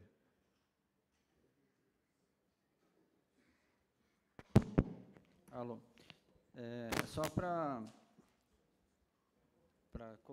aproveitando que o Napoleão falou a valorização da RT, né? Eu acho que o CAL, junto com a, com a comissão de, de, de, não de política, não de ensino, né? É, fazer um documento ao MEC, né, para tentar rever, para valorizar a RT no, nos concursos públicos para professores, né? Que não tem nenhuma pontuação para quem executa a obra, para quem faça a obra, então sempre sempre vai ganhar o professor que tiver mais mais livro, mais artigos, mais e, e nada nada nada de RT e de obra. Então isso para o curso de arquitetura isso é muito triste, né? Uhum. Então eu assim eu sugiro que o CAL faça alguma coisa nesse sentido, porque é uma forma de valorizar a RT. Aqueles que, que têm RT vão também pontuar alguma coisa, que hoje não pontua nada. Né? Obrigado. Muito bem, eu acho que foi um excelente ponto chamado pelo colega Luiz Delbrando, né? Quer dizer, há projetos de arquitetura que são teses, né? são verdadeiras teses e que precisam ser desenvolvidas com didatismo é, é, extremo né? para que possa ser realizado por um terceiro. Né? Então, é, a, a, didática é um componente né, do, do, do projeto arquitetônico. Né? já que ele eh, necessariamente é interpretado né, pelos colegas que fazem os projetos complementares e os operários, né, até os operários que executam a obra. Né. E, e, e esse é o nosso ofício. Né. Então, acho que é uma, é uma discussão muito interessante que nós poderíamos até pautar para uma dessas manhãs iniciais aí da, da, da, das nossas reuniões, né, como tema livre, e aprofundar um pouquinho essa discussão. Obrigado, viu, Luiz? É, colega Godoy, na sequência, o colega Napoleão. Presidente, é, hoje eu já tenho outra visão do que eu tinha no ano passado. Eu acho que nós evoluímos bastante. O próprio pedido do Cal Minas, né, de rever esses quatro, né, de, enfim, é, nós, um conselho novo, nem todos aqui exerceram ou trabalharam no conselho anterior. Eu tive a oportunidade de trabalhar como inspetor durante nove, trabalhar não, né, prestar serviço, nove anos, conselheiro, diretor, vice-presidente lá do CRED Minas. Então, eu vejo que hoje nós estamos numa maturidade muito mais rápida do que eu pensava, falar a verdade. O relato que foi feito pelo companheiro Claudemir aqui mostra essa maturidade. Estou muito satisfeito hoje sabe? Não só pela visão que a presidente Vera, né, do, do Calminas e os meus colegas, companheiros, conselheiros estaduais têm hoje, que mudaram, né, assim, da, da, orientação, da gente tentar esgotar. O nosso guru Renato ensinou isso um dia no relato que estava tendo. Né, porque às vezes é, fica que a, nós também temos, que o, que o bem que o presidente falou, nós devemos satisfação à sociedade. Né? O Conselho, é, fiscalização do exercício profissional, defesa da sociedade. Então, isso é, é muito importante. Mas eu acho que, para cinco anos, né, o, o, evoluiu demais, presidente. Hoje eu estou muito satisfeito. Nesse um ano e pouco que eu sou conselheiro, a gente é suplente, né? Está vindo um pouco mais. Mas, assim, eu estou surpreso pela maturidade que nós adquirimos nesse período. E eu era crítico. Ano passado eu olhava e falei, meu Deus, isso aqui nunca foi nada. Me desculpe quem, para quem eu fiz isso. Sério mesmo, o Napoleão é um antigo companheiro. Falei, gente, tinha que ter sido conselheiro lá antes, antes até para facilitar. Mas não, não teria que ser, não. Eu acho que é o aprendizado, aquele que já foi inspetor no CREA antigo, no conselho antigo, os que não vieram, os que são professores. Eu estou muito satisfeito, presidente. Obrigado, Sério mesmo. Obrigado, Sério Godoy. mesmo. Bom, nós temos inscritos ainda o colega Napoleão Tostes, mas eu gostaria de solicitar, já tem aqui a promessa de nós voltarmos esse assunto numa pauta livre, é, eu gostaria de solicitar que nós voltássemos ao tema do, do processo em discussão para que não percamos o foco e, e a condição de, de votar. Vamos ter que rememorar aí o, o, o, o evento. Né? Então, eu peço, por favor, né, que vamos convergir aí para o ponto de pauta. Então, vamos lá, para concluir. Colega Napoleão, na sequência, o colega Tostes. Pois não, rápido, presidente. É, nesses 50, cinco anos, 50 anos em 5 né, do, do CalBR, né, com o relator, é, é, é, sobre essa questão, rapidamente, o que falou o conselheiro Delbrando, ele está, isso está estabelecido no nosso Código de Ética. Em atribuições gerais diz que o arquiteto que se propõe a ensinar tem que ter prática profissional naquilo que ele vai ensinar. Então, se o RRT servir como resiste comprovação dessa prática, né, ele está também colaborando em fortalecer essa diretriz ética. Obrigado pela lembrança, colega Napoleão. Colega Tostes. Está saindo? Bom, eu queria falar sobre uma coisa importante nessa questão da RRT, é, desde o período que eu fui presidente, que ela ainda passa muito por uma grande desinformação dos arquitetos sobre a natureza da RRT, de preenchimento, conhecimento, enfim, relativo a isso. Nós realizamos diversos ciclos de palestra para alunos do último ano, é, numa disciplina que é o companheiro Oscarito, que ministra, que é legislação aplicada, e passamos a adotar exatamente técnicas de preenchimento de RRT e interpretações. Por quê? Porque esse profissional formado, ele já sai da, da universidade tendo noções mais específicas do que significa isso. E lembrar que toda vez que alguém é mutado é porque ele deixou de fazer alguma coisa. Isso é, isso é importante nós termos com prevenção, sempre aquela ideia de que o Brasil é o país do jeitinho e que de alguma forma se vai mascarar as situações. E talvez haja necessidade de se fortalecer mais essas campanhas que envolvem os níveis de distintas informações sobre RT, porque é, é impressionante o número de RRTs que às vezes são preenchidas erradas, que o profissional não tem conhecimento da, das implicações, das responsabilidades que isso implica. É, no CAUAP, uma RRT já salvou um arquiteto numa decisão judicial relativa a isso, uh, por conta exatamente da descrição que havia sido feita, enfim, que envolve. Então, nós temos tantas campanhas relacionadas às questões profissionais, reserva técnica, mas esse item da RRT ele é, ele é fundamental para todos nós, porque ele vai implicar numa maior responsabilidade dos profissionais em conhecer, preencher, registrar, e, inclusive de, de delitos de natureza de responsabilidade ética que possa é, envolver situações desse tipo.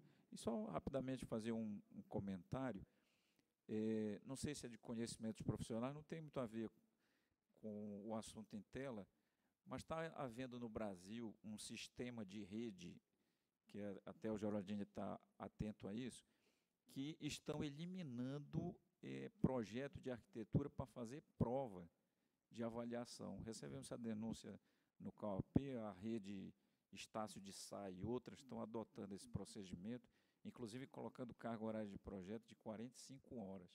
Ora, se nós estamos questionando que o sujeito tem dificuldade para entender RT, imagine agora mudando uma série de, de preceitos e regras que vai muito além até do que o Idelbrando colocou. Então, esses cursos perneta, eles, amanhã essas pessoas estão no mercado de trabalho, que é uma dificuldade enorme para esse processo. Obrigado, colega Tostes. Bem, pergunto aos colegas se estão informados, se podemos então proceder à votação. Podemos? É, por gentileza, Rodrigo. Então, o quadro está na tela ali. Os que acompanham o, o, o voto do, do, relator digitam um, os que não acompanham dois, os que se abstêm digitam três. Em regime de votação.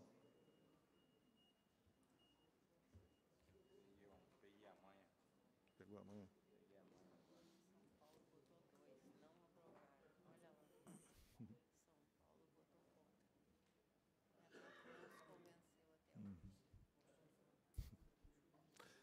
Então, concluído o processo de votação, então, aprovado com 25 votos dos presentes e um voto pela não aprovação. De São Paulo.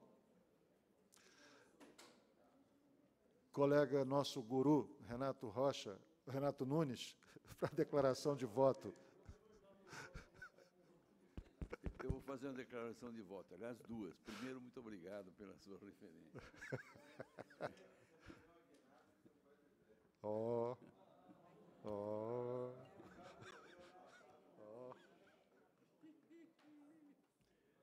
Fico, fico feliz de ouvir isso.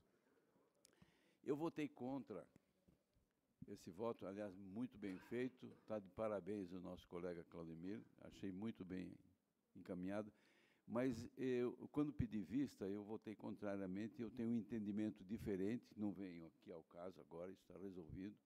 Eu só quero ressaltar nessa minha declaração de voto que o fato do meu entendimento ter sido é, diferente e ter provocado toda uma, re, uma retirada do voto já aprovado no plenário, proporcionou uma, um estudo muito profundo da questão, muito bem elaborado pelo nosso assessor jurídico, doutor Medeiros, cujas conclusões dessa questão da ética ou da legalidade do exercício, na questão da RRT, as conclusões dele já têm sido utilizadas com muita propriedade nas decisões da Comissão de Ética. Então, eu só eu mantenho o meu ponto de vista, contrário, eu, eu opinei pela liberação da, da, da, moça, sou, portanto, contrário a isso, mas eu não posso deixar de ressaltar que descambou, é, é, derivou para um, um saneamento de uma questão duvidosa.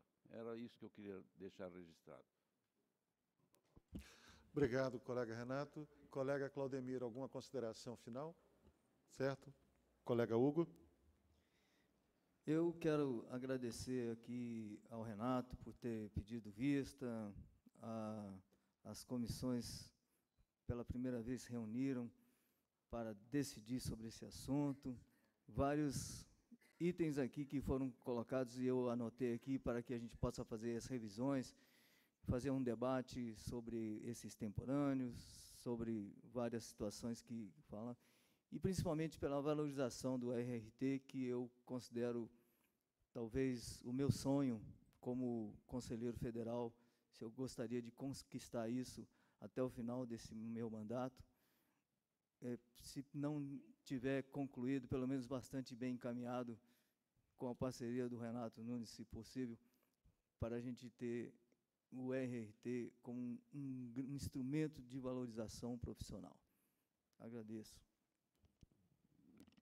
Obrigado, Hugo. Esse foi o discurso original lá, na, na, algumas décadas atrás, não é? quando se instalou a notação de responsabilidade técnica. Né? Eu me lembro do, do Fayette né, fazendo esse discurso, né? algumas décadas aí para trás. Né?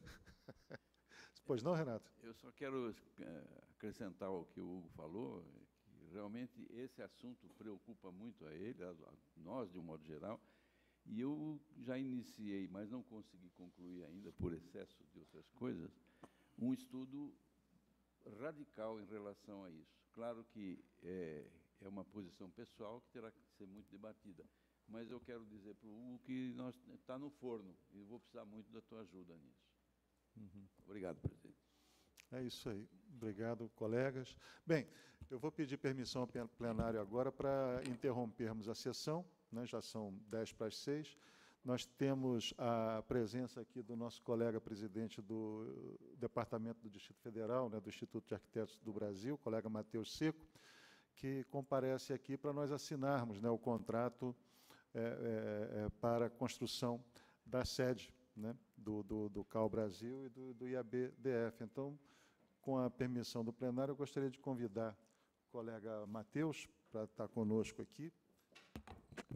Por favor, Matheus.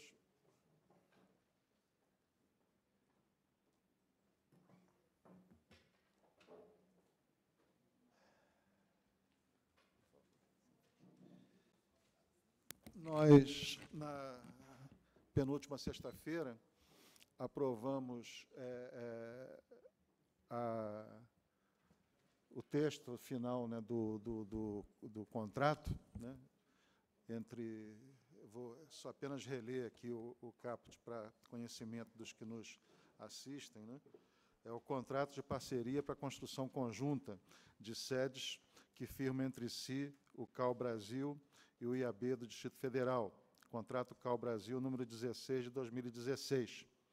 É, os colegas, naturalmente, estão já estão bem informados e, e, como eu disse na reunião anterior, né, vamos sempre procurar que, vamos dizer, os momentos principais né, da sequência desse, é, desse processo né, que, que nós iniciamos no início desse ano, no começo desse ano, é, coincidam né, com as nossas reuniões plenárias para o acompanhamento para e passo pelos conselheiros, já que será uma obra desse, desse colegiado. Né? Então, hoje, o, o, o colega Matheus, né, que também já discutiu o assunto na, na sua instância superior de decisão, está né, tá aqui conosco para nós firmarmos o contrato. É, e, e adiciona a informação é, que, que recebi, já, já temos costurado o, o, os documentos necessários né, para o, o, concurso, para o edital do concurso.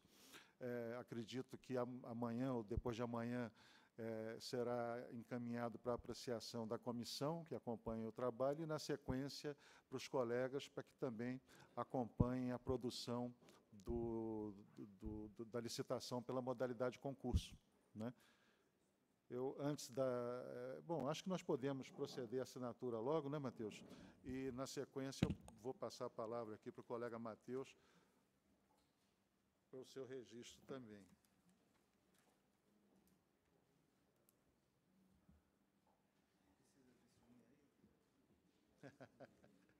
Todos.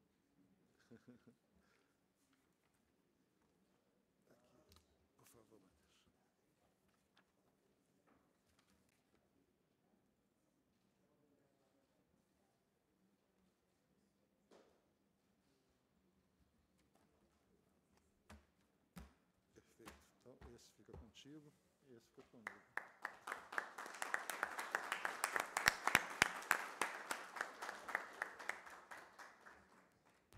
Eu passo a palavra aqui para o colega Matheus, para a sua manifestação. Por favor, Matheus. Bom, boa tarde a todos, boa noite já. É, para mim, uma, uma grande felicidade poder assinar esse contrato. Na verdade, é um trabalho longo, né? Eu estou, é, na verdade, finalizando esse processo que já foi iniciado por gestões anteriores da, da construção da nossa sede, mas eu fico muito mais feliz que seja essa construção conjunta com o CAL. Eu acho que são duas instituições irmãs, o, o cada um com seu papel específico. O IAB está passando é, atualmente por uma reinvenção é, do seu papel na arquitetura nacional, que continua sendo muito relevante, mas em termos de, de eh, direcionamento está sendo readaptado hoje em dia com, com a nova realidade que a gente está vivendo. Eu acho que o trabalho que a gente vai fazer junto com o CAL, continuar fazendo junto com o CAL, é muito importante, essa cooperação entre as duas instituições. O IAB-DF, pela localização aqui na capital e por diversos outros, outros motivos, a gente tem uma facilidade maior de estar em contato com decisões do governo que interferem diretamente na nossa profissão. Então, acredito que é, essa conjunção de atuação entre o IAB-DF e o CAL Nacional ela vai ser muito rica e mais rica ainda agora que a gente vai ter essa sede em conjunto. Então, Queria agradecer também o trabalho do Haroldo e de todos envolvidos aí na, nessa, nessa costura final que a gente fez, que, enfim, são discussões que vêm sendo feitas há muito tempo. E eu tenho certeza que a gente daqui a algum tempo já vai ter um local onde a gente possa celebrar novas conquistas para a profissão e novos passos importantes que a gente tem que tomar na, na direção da valorização da profissão aqui no país. Obrigado a todos e espero poder já celebrar daqui a uns, um ano, mais ou menos, a construção é, da sede. Obrigado.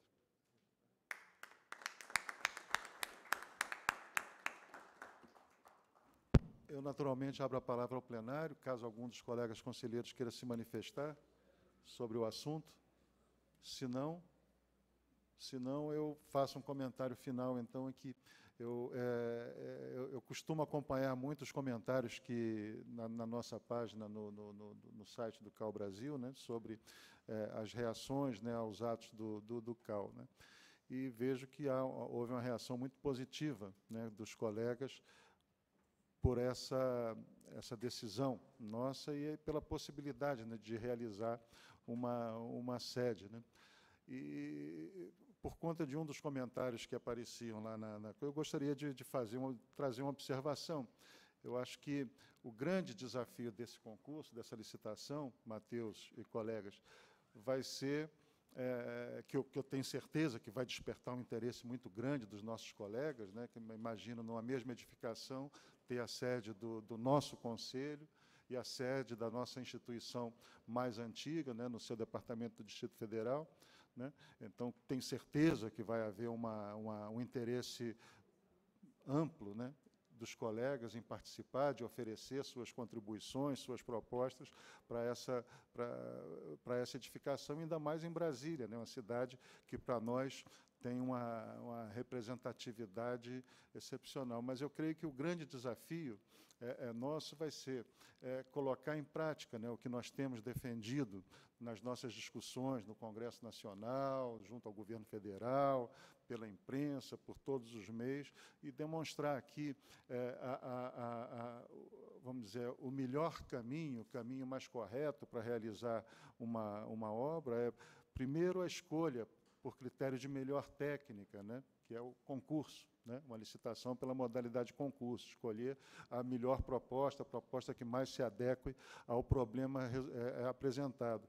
Segundo, licitar a obra com o projeto completo, desenvolvido, detalhado, com as, as interferências cruzadas né, dos diversos projetos que compõem o projeto executivo. E a um preço digno, né, cumprindo-se o, o, cronograma e o, o, o orçamento prévio pré-determinado e que estamos colocando para os arquitetos que vão concorrer um valor que nós sabemos que é baixo, né, não, não nos interessa é, é, é ter uma construção de, de, de padrão elevado pela, apenas pela, pelo valor, é, é, é, pelo custo, pelos cifrões dos materiais envolvidos. Não, queremos uma construção que atenda corretamente né, o, o Conselho com os espaços necessários, respeitando toda a legislação, particularmente o desenho universal, a, a, a, as as resoluções, as conquistas que nós temos sobre a redução né, da, da, emissão dos, é, dos gases né, do efeito estufa, enfim, o respeito né, a, a, aos recursos que a natureza nos oferece. Né? Então, esperamos poder realizar essa obra com os recursos que nós efetivamente temos né, e nem por isso que seja uma construção de menor qualidade, de menor significação, né? Para uma cidade como Brasília. E aqui lembro, inclusive, a própria frase do doutor Lúcio, né, no, no, no projeto para o concurso de Brasília, né, que falava, é, não me recordo ipsis literis né, da, da citação dele, né, mas uma cidade que tem a nobreza, né, não pelo, pelo excesso, pela ostentação, mas pelo que ela própria em si representa. Então, é o que nós esperamos da nossa edificação, né, que ele tenha essa nobreza da, do, do, traço correto, da utilização, da solução correta para um problema é, é, é, apresentado. Então, é, é, vamos lá, mais um passo dado e, e, vamos continuar e espero que no final da nossa gestão tenhamos isso já bastante, bastante avançado e quem sabe até concluído. Né? Vamos ver aguardar aí a, o, o, o, cronograma e o, e o orçamento detalhado para que possamos divulgar. Mais uma vez, Matheus, muito obrigado, parabéns aí para os colegas do IAB também e parabéns aqui para os colegas desse plenário. Então, com isso, acho que podemos encerrar essa sessão de hoje. Estamos todos convocados amanhã às nove da manhã para prosseguir nos trabalhos. Muito obrigado a todos.